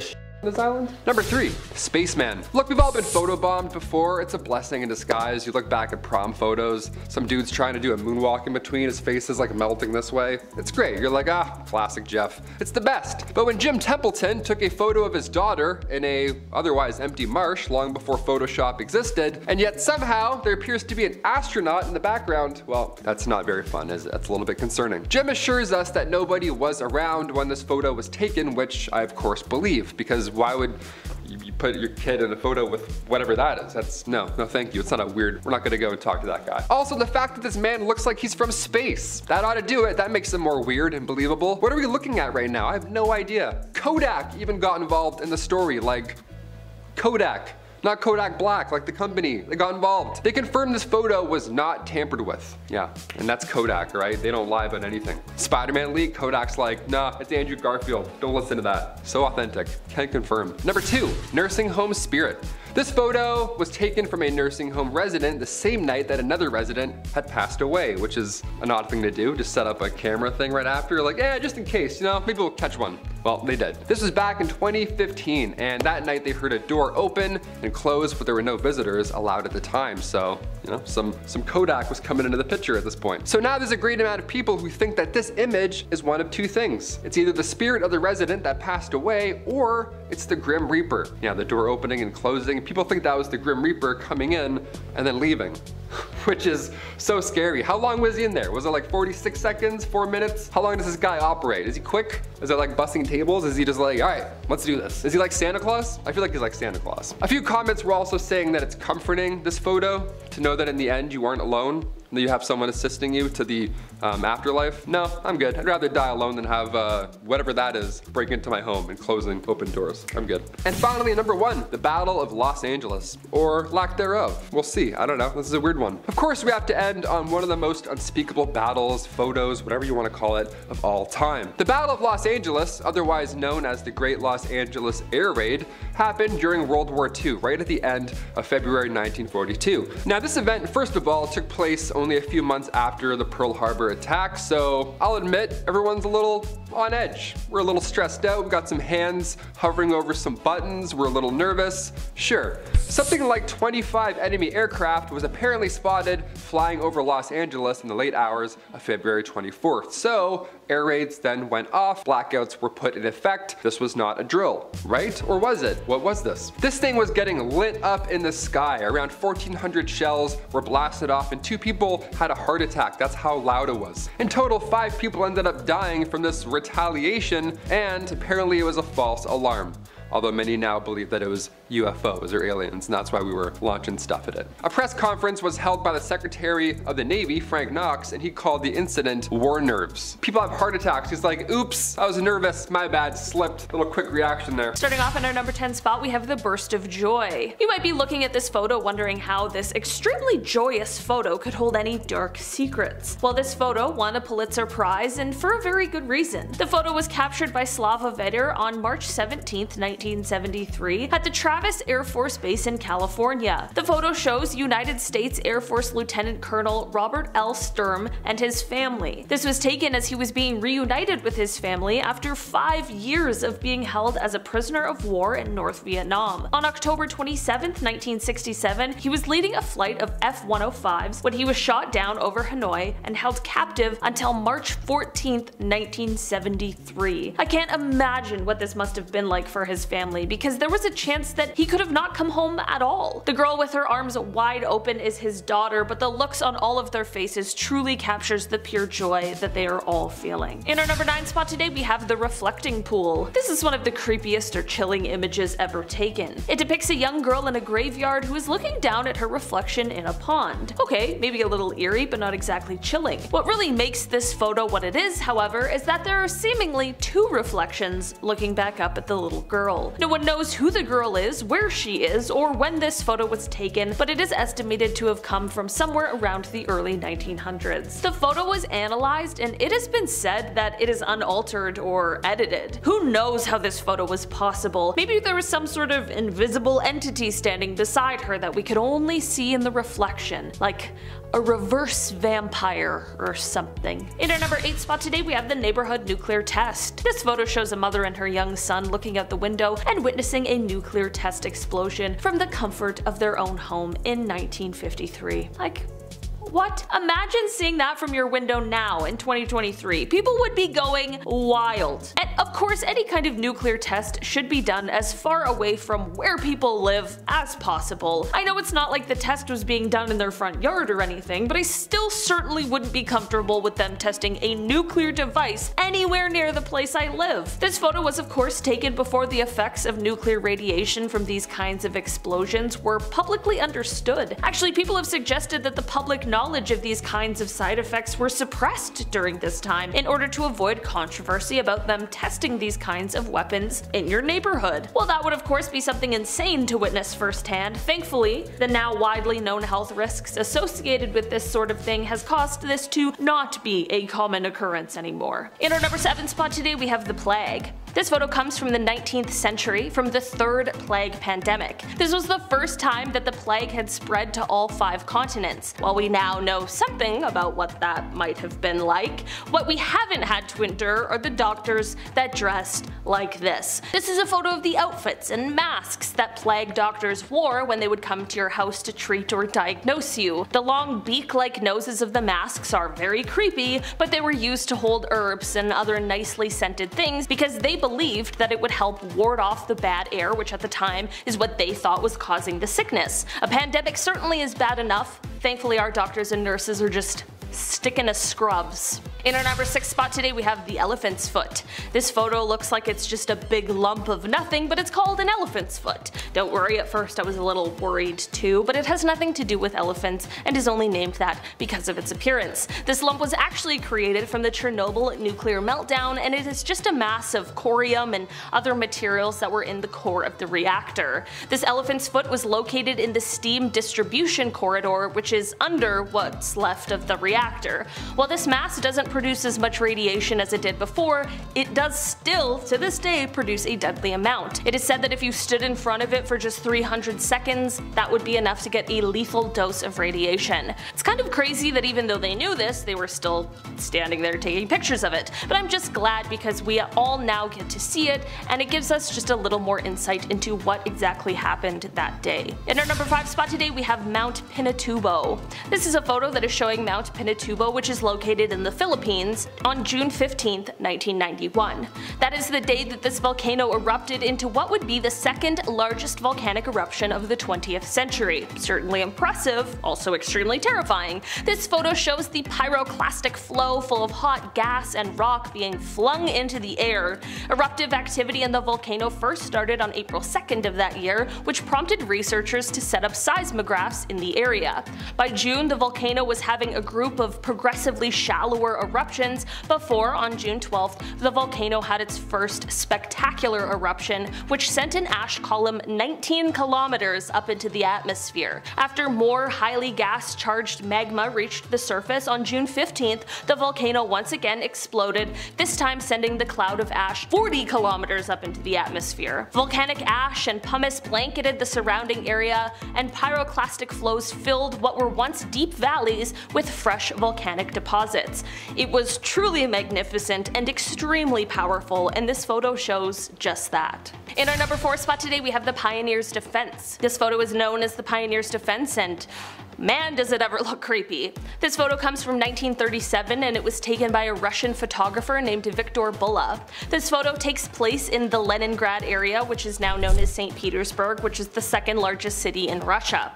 The people in this photo were part of a group that was the 1930s Russian equivalent of our Boy Scouts and it was called the Young Pioneers. The masks on their faces leave a very eerie feeling and for a fair reason. These people were doing a military preparation drill which is the reason for the gas masks. This photo was taken during a time where the country was under the dictatorship of Joseph Stalin and the residents were constantly unsure of what was going to happen. The country was already seeing death and people were already frightened just a few years before the start of World War II. In our number 3 spot today we have the lipstick. This is a photo that comes to us from December 10th, 1945. If looking at this image gives you a shudder down your spine, that absolutely makes sense as it was written by a terrible person known as the lipstick killer. This photo is an image of a note he left written on the wall at one of his crime scenes. The photo comes from the apartment of Frances Brown as just before he wrote this message, he took her life. After this message was left, he ended up taking the life of one other person before he was finally caught by police six months later. The message scrawled in the photo reads, quote, For heaven's sake, catch me before I kill more.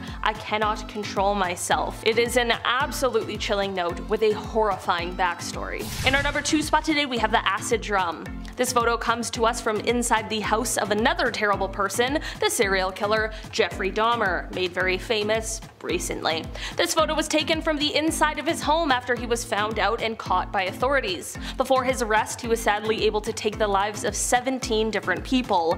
Although this photo might look kind of plain, the horrors are plentiful. This shot shows a drum full of acid that was located inside of his home. Probably don't really need to tell you what it was used for. I can't imagine the horrors investigators saw when they entered his home, and even previous to that as they investigated his crimes. Thankfully Jeffrey was caught and in 1992 he was sentenced to life in prison, but just two years later he was killed by a fellow prison inmate. In our number one spot today we have the Dyatlov Pass incident. If you have never heard of the Dyatlov Pass incident you better buckle in because it is so terrifying. This photo was taken in February of 1959 as nine young Soviet hikers sent out to trek through the Ural Mountains. They had set up a camp and sometime during the night something happened that made them cut their way out of the tent and all flee the site. Leaving in such a rush they were of course underdressed for the bitterly cold weather and six of them ended up passing away from hypothermia which is extremely tragic. The other three however is where this story takes an even more frightening turn. Like I mentioned before, no one knows why they fled the tent in the first place and the last three hikers were found passed away with severe signs of physical trauma that no one agreed on what had caused it. In 2019 the investigation was reopened and just last year there was a conclusion that a kind of avalanche called a slab avalanche was the cause for these injuries. Before you come at me in the comments, I know that not everyone is convinced that's what happened and I don't blame you. It's really strange. Number 10, the isolator. The last thing anybody wants to do after the almost, almost two years we've had? Ugh. Though this looks like an object perfect for deep sea diving, it was actually built for desk work. Hugo Gernsback was a Luxembourgish American inventor, writer, editor, engineer, designer, businessman, and of course magazine publisher because why not add one more thing to the list he's really good at. He started a magazine called Science and Invention which encouraged scientific and amateur experimentation. This was one of the inventions published in the magazine and was revealed in July 1925. The main purpose was to block out all of the noise from the surrounding environment, narrow the field of view like horse blinders to improve concentration. But don't worry, there was an oxygen tube attached to help out the studier, so you know you could you could breathe while you're reading about Shakespeare or something. Number 9 Kangaroo Boxing. Link here.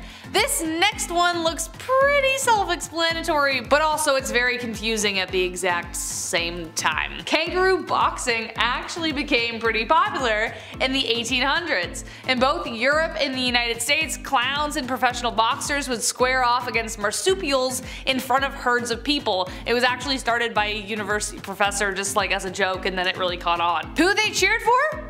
One can't be certain. The man in the above photograph was sparring against a kangaroo in Germany in 1924.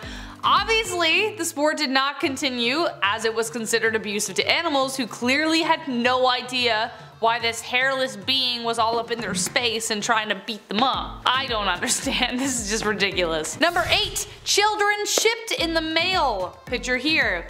Sounds ridiculous, is ridiculous. But did it happen? Of course it did. However, this picture was actually staged, but this actually did happen. Imagine your sister calling you and telling you your nephew is visiting, and then minutes later the doorbell rings and your nephew is just like chilling with some packing peanuts in a cardboard box. Well, not quite. The postman had to play a kind of babysitter a bit. Shortly after package delivery, a revolutionary thing on its own, was introduced, a couple in Ohio sent their infant son to their grandmother's via post postman in 1913. It cost 15 cents plus $50 insurance. Once this oddball story got out, the trend caught on. Regulations were vague about what you could and could not send via post, so why take a bus when you could take a postman? Rural townships also usually knew their postman really well, so they'd be like, oh come on Joey, here's 15 cents, take little Timmy to my aunts, I don't know. So they trusted them, they weren't just passing them off to strangers. However, eventually new regulations came out banning the practice, Finally, because it's just weird. In our number 7 spot today we have the Boston Marathon. This photo comes to us from 1967 and it depicts the struggles that Kathrine Switzer went through in order to be the first female to finish the Boston Marathon. The photo shows race organizers as well as other participants trying to stop her from running the marathon that she had trained for and was more than capable of completing. She has written a book that explains in great detail all of the things she went through that day and how the critiques and opinions about a woman running the race started even before she had registered to run. People in our history like Kathrine are very important, as well as photos like these because they show when people were literally trying to drag her down, she just kept on running. In our number 6 spot today we have the reenactment. This photo is extremely unsettling, and for a very good reason. If, when you look at this photo, your instincts tell you that the guy in them is creepy, ding ding ding, you're right. This is a photo that features the German serial killer Joachim Kroll. He is known for taking the lives of 14 people, all varying in age, and he is also known for consuming parts of their flesh. This monster was caught in 1976 and he was discovered when police found out that he had been clogging the plumbing in his apartment with the remains of one of his victims. How gruesome is that? This photo was taken shortly after he was caught and arrested, and what you're seeing is Kroll reenacting one of his crimes for the police. I get goosebumps just thinking about that. I could couldn't imagine being there or being the police officer that he's on top of. Talk about terrifying. I'm just glad that they caught him and got him off the street. In our number 5 spot today, we have the Stanley Hotel. This is a photo of the Stanley Hotel, which is the hotel that inspired the famous Stephen King novel the Shining. This hotel was under construction in the early 1900s and saw a fateful day in 1911. There was an unexplained explosion that happened in room 217. In the explosion, a chambermaid was seriously injured, but she did end up surviving and she actually returned to work. A few years later, she passed away and ever since her passing, there have been tons of guests who swear that they saw her ghost. Guests have said that they have seen her around the halls of the hotel, but the place that gets the most paranormal paranormal activity is of course room 217. This is the room where Stephen King and his wife stayed for one terrifying night in 1974. Apparently they were actually the only guests at the hotel for this night, which at any other hotel might be kinda cool, but I feel like this is not what you want from a haunted hotel. In our number 4 spot today we have the Rothschild Surrealist Ball. The Rothschild family is one of the wealthiest and most powerful families there has ever been. For years and years there have been many rumors rumors swirling about just how powerful and influential they really are, and there are some pretty crazy theories out there. In 1972, the family held a surrealist ball, which is where this photo comes from. These photos could potentially be very innocent, but there is just something about these very elaborate masks, coupled with the theories about what this family is really up to that just makes it feel very eerie. I know it's kind of like conspiracy feeling, but I don't know, there's something very haunting about this. This party is one of the most legendary there has ever been, and whether or not they really are involved in shady dealings, that still is pretty impressive. In our number 3 spot today we have John Lennon. Of course we all know John Lennon as one part of the Beatles who went on after they disbanded to have a very successful solo career. Lennon was not only a musician, but he was also a peace activist who was strongly anti-war. He was not afraid to display his activism and held a two-week anti-war demonstration. There was a period of three years where the Nixon administration was trying to have him deported for his criticism against the Vietnam War. That's how active he was. On December 8, 1980, Lennon was leaving the Dakota apartment complex when he was stopped by a man named Mark David Chapman. Lennon signed an autograph for Mark, which is what is happening in this photo, and then Lennon went on his way. Little did he know, Mark was going to shoot him later that night. Once Lennon returned to the apartment complex, Mark was there waiting for him to commit his crime. Mark has said he did it mostly for attention, which is very horrifying, but Mark is also a very religious man who explained that Lennon once saying that the Beatles were more famous than Jesus is what really pushed him to commit this crime. It is very crazy that this photo was captured when Lennon was being so kind to who he thought was a fan, and no one would have ever predicted what would happen just a few hours later. In our number 2 spot today, we have the Hindenburg. This is a photo that was taken during what is now known as the Hindenburg disaster. It is commonly known that blimps, or these kinds of floating airships, use helium in them to float through the air, and it's important to note that helium isn't the choice because it's the only option, but rather because it's one of the safest options, and that is due to the fact that it isn't extremely volatile. Because of a US ban on the exportation of helium at the time, i.e. the Helium Control Act of 1925, although the Hindenburg was designed to use helium, there was a lack of it available, so on the day of the Hindenburg disaster, the much more flammable hydrogen was used instead, and this led to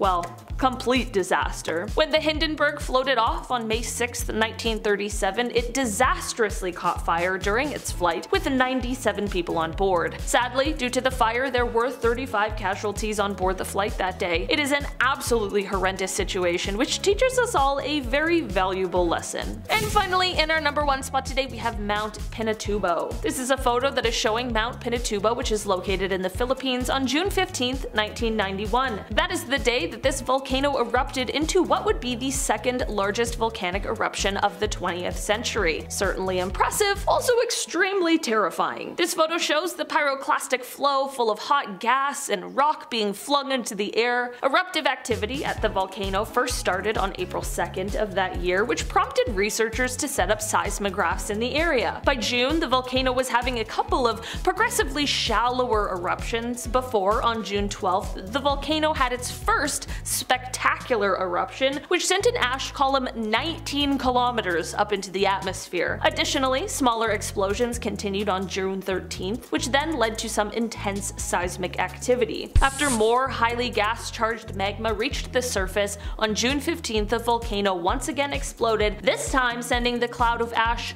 40 kilometers up into the atmosphere. Volcanic ash and pumice blanketed the surrounding areas and pyroclastic flows filled what were once deep valleys with fresh volcanic deposits. It was truly magnificent and extremely powerful, and this photo shows just that. In 10th place, we have the criminal George Washington. The George Washington, whose gravestone is pictured, was not the first US president, but the first prisoner executed via electric chair in Texas. On February 8th of 1924, Texas executed a total total of five inmates using its brand new electric chair, which remains a state record for the highest number of executions in a single day. In 1923, Levi Todd, who lived in the same area, made himself a new gambling table and promised George Washington he would give him the leftover lumber. But Levi gave the wood to another man, and George was so incensed that he uh, shot and killed Levi as he sat playing poker with some friends seated around that uh, new table. And to add to his crime, George shot Levi's terrified wife as she ran past a window in the uh, Todd home. Mrs. Todd thankfully didn't die. He shot uh, the Todd's dog and emptied his bullet device trying to kill one of the poker players, Frank Larry. But none of his bullets struck Frank, and he emptied his own safety device at Washington, hitting him with a load of buckshot. When the shooting subsided, Washington ran into the woods, only to be discovered a few days later as he slept, and well, the rest is history. I do have a fun fact for y'all though. The electric chair actually has a name.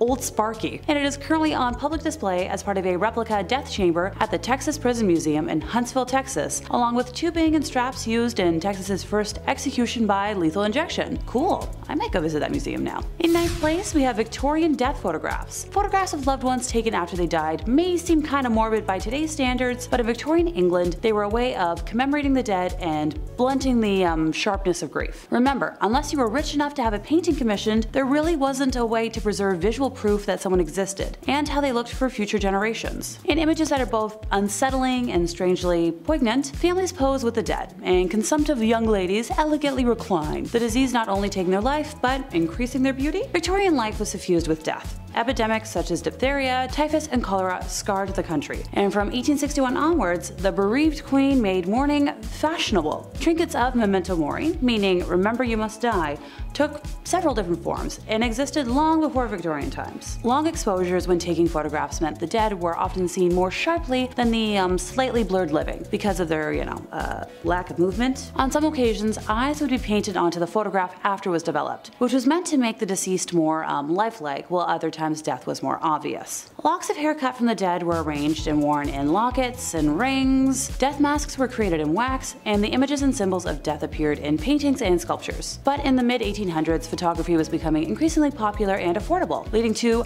memento mori, photographic portraiture. Try saying that five times fast. You don't want to know how many times I failed. The first successful form of photography, the daguerreotype, was an expensive luxury, but not nearly as costly as having a portrait painted, which previously had been the only way of permanently preserving someone's image. As the number of photographers increased, the cost of these photos fell. Less costly procedures were introduced in the 1850s, such as using thin metal, glass, or paper rather than silver. I see where Weekend at Bernie's got their inspiration. In 8th place, we have a ghostly mural. The ghostly figures shown in this mural in the Karl-Laro-Strasse Tunnel in North Rhine-Westphalia, Germany, depicts the 21 young people who died in a stampede in 2010 at Love Parade, a German music festival. At least 500 others were injured in the devastating tragedy. The Love Parade was a free access music festival and parade that originated in 1989 in Berlin. The parade featured stages, but also had floats with music, DJs, and dancers moving through the audience. The Love Parade in Duisburg was the first time that the festival had been held in a closed-off area. Between 200,000 and 1.4 million people were reported to be attending the event, and 3,200 police were on hand. As a consequence of the disaster, the organizer of the festival announced that no further love parades would be held and that the festival was permanently cancelled. Criminal charges were brought against 10 employees of the city of Duisburg and the company that organized the event, but eventually rejected by the court due to the prosecutor's failure to establish evidence for the alleged acts of negligence and their, um, oh yeah, causal connection to the deaths. The mural was established by an unknown artist as a reminder of the sad day. Number 7. Mummies for sale. Considering the frenzy that people get into when archaeologists discover a new mummy, you might be surprised to learn that this picture is actually a street merchant selling mummy merchandise of actual actual mummy. During the Victorian era in the 1800s, Napoleon's conquest opened the gates of Egypt to the Europeans, making mummies a really hot commodity. like imagine somebody bury like uncovering your aunt and going, ooh, we could sell her. Weird, right? Like thousand years from now? They could be purchased from street vendors, just as you see from this photo. The Euro elite used to even have mummy unwrapping parties, which is exactly as it sounds and not what you would expect people to do with a corpse. But even weirder than that, people actually thought ground up mummies had medicinal properties. It was so popular that it even instigated a counterfeit trade to meet the massive demand for magic mummy ground stuff. What did the counterfeit trade involve? The flesh of beggars instead of mummies. All that behind one picture. Number 6 half and half. This next one actually has a kind of sad story behind it, but paints a very clear picture of the division between Catholics and Protestants and actually just religion in general. This picture depicts two graves in the Netherlands, one belonging to a Protestant and the other a Catholic. In 1842, a 22 year old Catholic noblewoman fell passionately in love with a 33 year old commoner, a colonel in the cavalry who was also Protestant, a big no no. Their marriage was a total scandal, but they said screw you to their peers and stayed together for 40 years. The woman's husband died in 1880 and to forever unite them, she built a grave that would forever keep them together even though they were apart by a wall. The old cemetery was strictly divided into Catholic, Protestant, and Jewish sections, so these two monuments were built so they could forever be together. Does anybody have a tissue? Number 5. Leo the Lion! Believe it or not, you've seen this lion before. In fact, you've probably seen him many times while watching your favorite films as a kid and even now. The lion in the photo is the one, the only, Leo the Lion, the majestic beast who roars the MGM logo, like the old one. Leo the Lion was the regular star of MGM since it was founded in 1924. The first MGM lion was called Slats, not Leo, and he actually didn't roar, he was just kind of like looking around. It was more like a gif. But Leo is actually the most familiar roar, like everybody knows what he sounds like. But who is the man having tea with such a lion? Well that of course is Alfred Hitchcock, the king of thrills. This photo was taken in 1957 of the two legends posing to enjoy a hot cup of British tea. Number 4. Walter Yeo. Though the picture itself is a little disturbing, it signifies a life-changing moment for Mr. Walter Yeo and also for thousands more.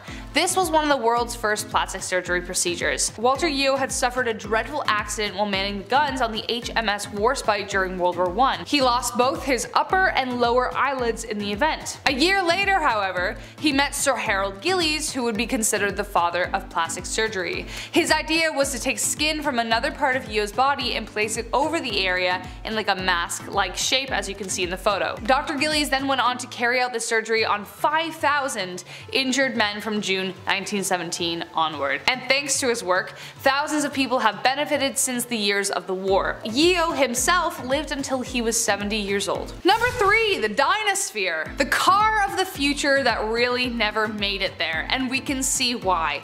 Every car we have today has four wheels, not just one. Some have more than that now, it's getting confusing. But in the 1930s, J.H. Purves had a vision. He called it the Dynasphere. It was a large wheel with a cabin in the center for the driver and the passenger to sit. Funny enough, it did actually work. Check this out. But did anyone else notice the problem with driving it? Yeah, you have to drive like Ace Ventura with his window open because it broke, you know what I mean that scene? Exactly.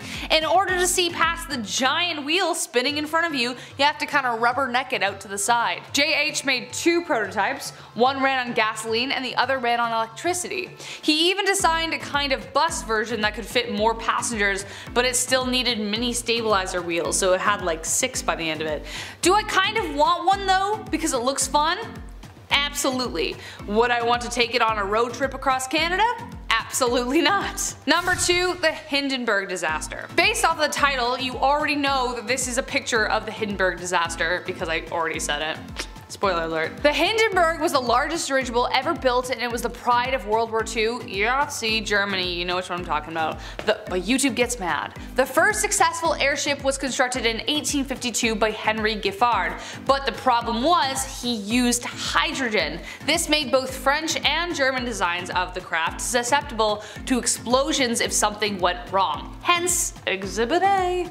What you are seeing in the photo is the direct aftermath of a devastating accident. Um, On May 6, 1937, the dirigible touched a mooring mast in Lakehurst, New Jersey, sparking the explosion, which took the lives of 13 passengers and 21 crew members. Something as simple as a small spark from the engine ignited the hydrogen core, and the craft fell 200 feet to the ground in flames.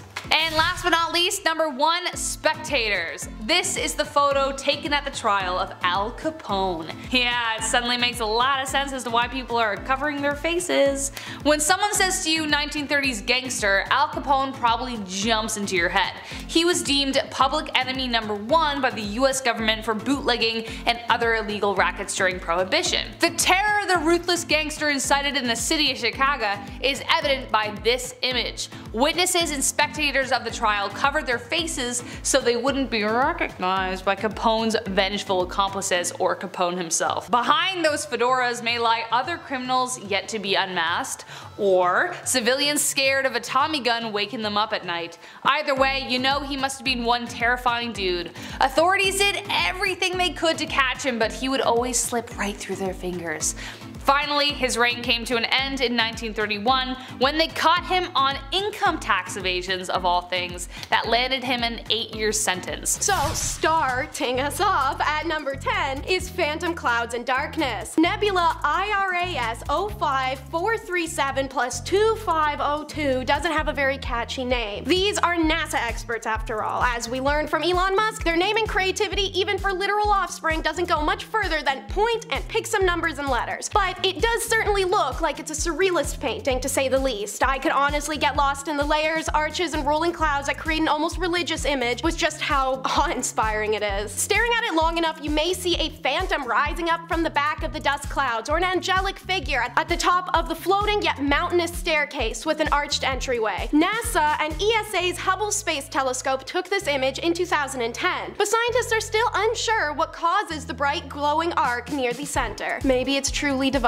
Number 9 is, well, it's hard to find words, but its name is the Gaping Maw. Ew, don't like that personally. Anyways, it's specifically the gaping maw of a sunspot. The sun is an active place with filaments, holes, and flares that are constantly shifting across its face like a pool of liquid magma. That what you see is a close-up look at a very dramatic sunspot as seen by the Big Bear Solar Observatory's telescope in 2010. This gape could be compared to a few things. Maybe the toothy opening of the Sarlacc pit in Star Wars, or if you fired a bullet through a grapefruit like the Mythbusters. I can tell you from my very unfortunate experience that this is also kind of what it's like to look into a puncture wound on the human body and see the tissue inside. No matter what you see, I'm sure it's something uncomfortable enough that you just want me to move on. So I will. Number 8 is Ghostly Hand. I'm not even a Marvel fan, and their franchise is what I thought of when I saw this picture. It's giving Scarlet Witch, or Doctor Strange, or even Morgan Le Fay, which if you've seen the recent video Historic Sorcerers that actually had powers, you'd know is a character of Arthurian legend found in the Marvel Strike Force comic series that Aubrey Plaza will be playing on the big screen. If you haven't seen that video, maybe check it out, and while you're at it, don't forget to subscribe to The Hive. Anyways, this ghostly hand was caused by a pulsar lurking in the center, which to quote, is a rapidly spinning neutron star which is spewing energy out into the space around it to create complex and intriguing structures, including one that resembles a large cosmic hand, according to NASA, who snapped the picture in 2009 with their Chandra X-ray Observatory. Thanks to the pulsar, a disembodied phantom-like hand looks to be grasping at the void. In seventh place, time to meet American physicist Harold Agnew. As you might have assumed, pictured is, yep, that physicist, holding the nuclear core of the Fat Man atomic bomb, which was dropped on Nagasaki in 1945. The bomb ended up killing about 80,000 people, many of which who died from the long-term effects it caused, like radiation illness and leukemia. It was the second of the only two nuclear weapons ever used in warfare, and its detonation marked the third nuclear explosion in history. It was built by scientists and engineers at Los Alamos Laboratory using plutonium from the Hanford site, and was dropped from the Boeing B-29 Superfortress Bockscar piloted by Major Charles Sweeney. The name Fat Man refers to the early design of the bomb because it had a wide round shape. Fat Man was an implosion type nuclear weapon with a solid plutonium core. In sixth place we have Karl Wallenda. Karl Wallenda was a German-American high wire artist and the founder of the Flying Wallendas, a daredevil circus troupe whose members performed dangerous stunts far above the ground, often without a safety net, and still perform to this day. The photo that stayed with me was from a triumphant moment in 1978, just after he crossed the Tower Bridge in London by, yep, tightrope. Later that year, at the age of 73, Karl attempted a walk between the two towers of the 10-story Condado Plaza Hotel in San Juan, Puerto Rico on a wire stretched 121 feet above the pavement. As a result of high winds and an improperly secured wire, he lost his balance and fell during the attempt, and it was caught entirely on camera. Speaking of the Flying Wallenda troupe, as I mentioned before, they still perform to this day, with Karl's great-grandson Nik Wallenda breaking world records and performing feats that make my stomach turn. In fifth place, we have the Challenger explosion. On January 28th of 1986, the Space Shuttle Challenger broke apart 73 seconds into its flight, killing all seven crew members aboard. The spacecraft disintegrated 46,000 feet above the Atlantic Ocean, off the coast of Cape Canaveral, Florida at 11.39 a.m., and it was the first fatal accident involving an American spacecraft while in flight. The mission, designated STS-51L, was the 10th flight for the orbiter and the 25th flight of the Space Shuttle fleet. The crew was scheduled to deploy a communication satellite and study Halley's Comet while they're in orbit, in addition to taking school teacher Christina McAuliffe into space. The latter resulted in a higher than usual media interest and coverage of the mission. The launch and subsequent disaster were seen live in many schools across the United States. The cause of the disaster was the failure of the primary and secondary redundant O-ring seals in a joint in the shuttle's right solid rocket booster. The record low temperatures the morning of the launch had stiffened the rubber O-rings, reducing their ability to seal the joints. Shortly after liftoff, the seals were breached, and hot pressurized gas from within the SRB leaked through the joint and burned through the aft attachment strut, connecting it to the external propellant tank, ET for short, then into the tank itself. The collapse of the ET's internal structures and the rotation of the SRB that followed threw the shuttle stack, traveling at a speed of Mach 192, into a direction which allowed aerodynamic forces to tear the orbiter apart. Both SRBs detached from the now destroyed ET and continued to fly uncontrolled until the range safety officer destroyed them. The crew compartment, human remains, and many other fragments from the shuttle were recovered from the ocean floor after a three-month search and recovery operation. The exact timing of the deaths of the crew is unknown, but several crew members are thought to have survived the initial breakup of the spacecraft. The orbiter had no escape system, and the impact of the crew compartment at terminal velocity with the ocean surface was too violent to be survivable. The disaster resulted in a 32-month hiatus in the space shuttle program. In fourth place, we have death recreations. Honestly, looking at this photo, it looks just like the special effects team for a movie studio or haunted house, you know, just doing their job. But sadly, the reality is much more grim. In 1980, forensic artists were recruited to reconstruct the facial features of nine unidentified victims so that photos could be released by the media in an attempt to identify them. Oh, uh, pardon me, I got a little ahead of myself. The victims belonged to one John Wayne Gacy, otherwise known as the Killer Clown of Cook County, Illinois between 1972 to 1978. He killed over 33 individuals during his reign of terror inside of his ranch-style house in Norwood Park Township. I could go into details about how he committed his crimes, but I don't feel like scarring anyone today. All you need to know is that he gave magic tricks a very bad name. In third place, we have the room where the Romanov family were killed. The Russian Imperial Romanov family were shot and bayoneted to death by the Bolshevik revolutionaries under Yakov Yurovsky on the orders of the Ural Regional Soviet in Yekaterinburg on the night of the 16th to 17th of July 1918. Also killed that night were members of the Imperial entourage who had accompanied them. Court physician Eugene Botkin, lady-in-waiting Anna Demidova, footman Alexei Trupp, and head cook Ivan Kharitonov. The bodies were taken to the Koptyaki forest where they were stripped, buried, and uh, with grenades to prevent identification. In second place, we have camp staff taking a day off. Now, to the unknown eye, this is a very innocent picture, and you might be asking why it's so high up on this list. I'm gonna ask y'all to pay close attention to the uniforms that people are wearing. Still not making sense? This photo is of Auschwitz staff enjoying pleasant days off. They look like camp counselors, but their job is, uh, oh yeah, killing people in horrible ways, and they enjoyed it. Most probably took lives not shortly before or after this was taken. Easily the most unsettling photo for me today, since the absolute contrast makes my stomach turn. And in in first place, we had the Uruguayan Air Force Flight 571. This picture was taken of a group of survivors of that crash in the Andes. They're all smiling in this photo, but it becomes eerie when you see the um, human spine to the right of them in the photo. I'll get to it, I promise. On October 13th of 1972, human error caused the plane and the 45 folks on board to crash into the Andes mountain range in Argentina, just shy of the border within Chile. Amid the wreckage of the mangled plane, on a mountain glacier about 80 kilometers east of the planned flight route, 33 passengers were still somehow alive. Five people didn't survive survived the first night of below freezing conditions on the mountain in the remote Andes, and a sixth person died within days. Those who were still alive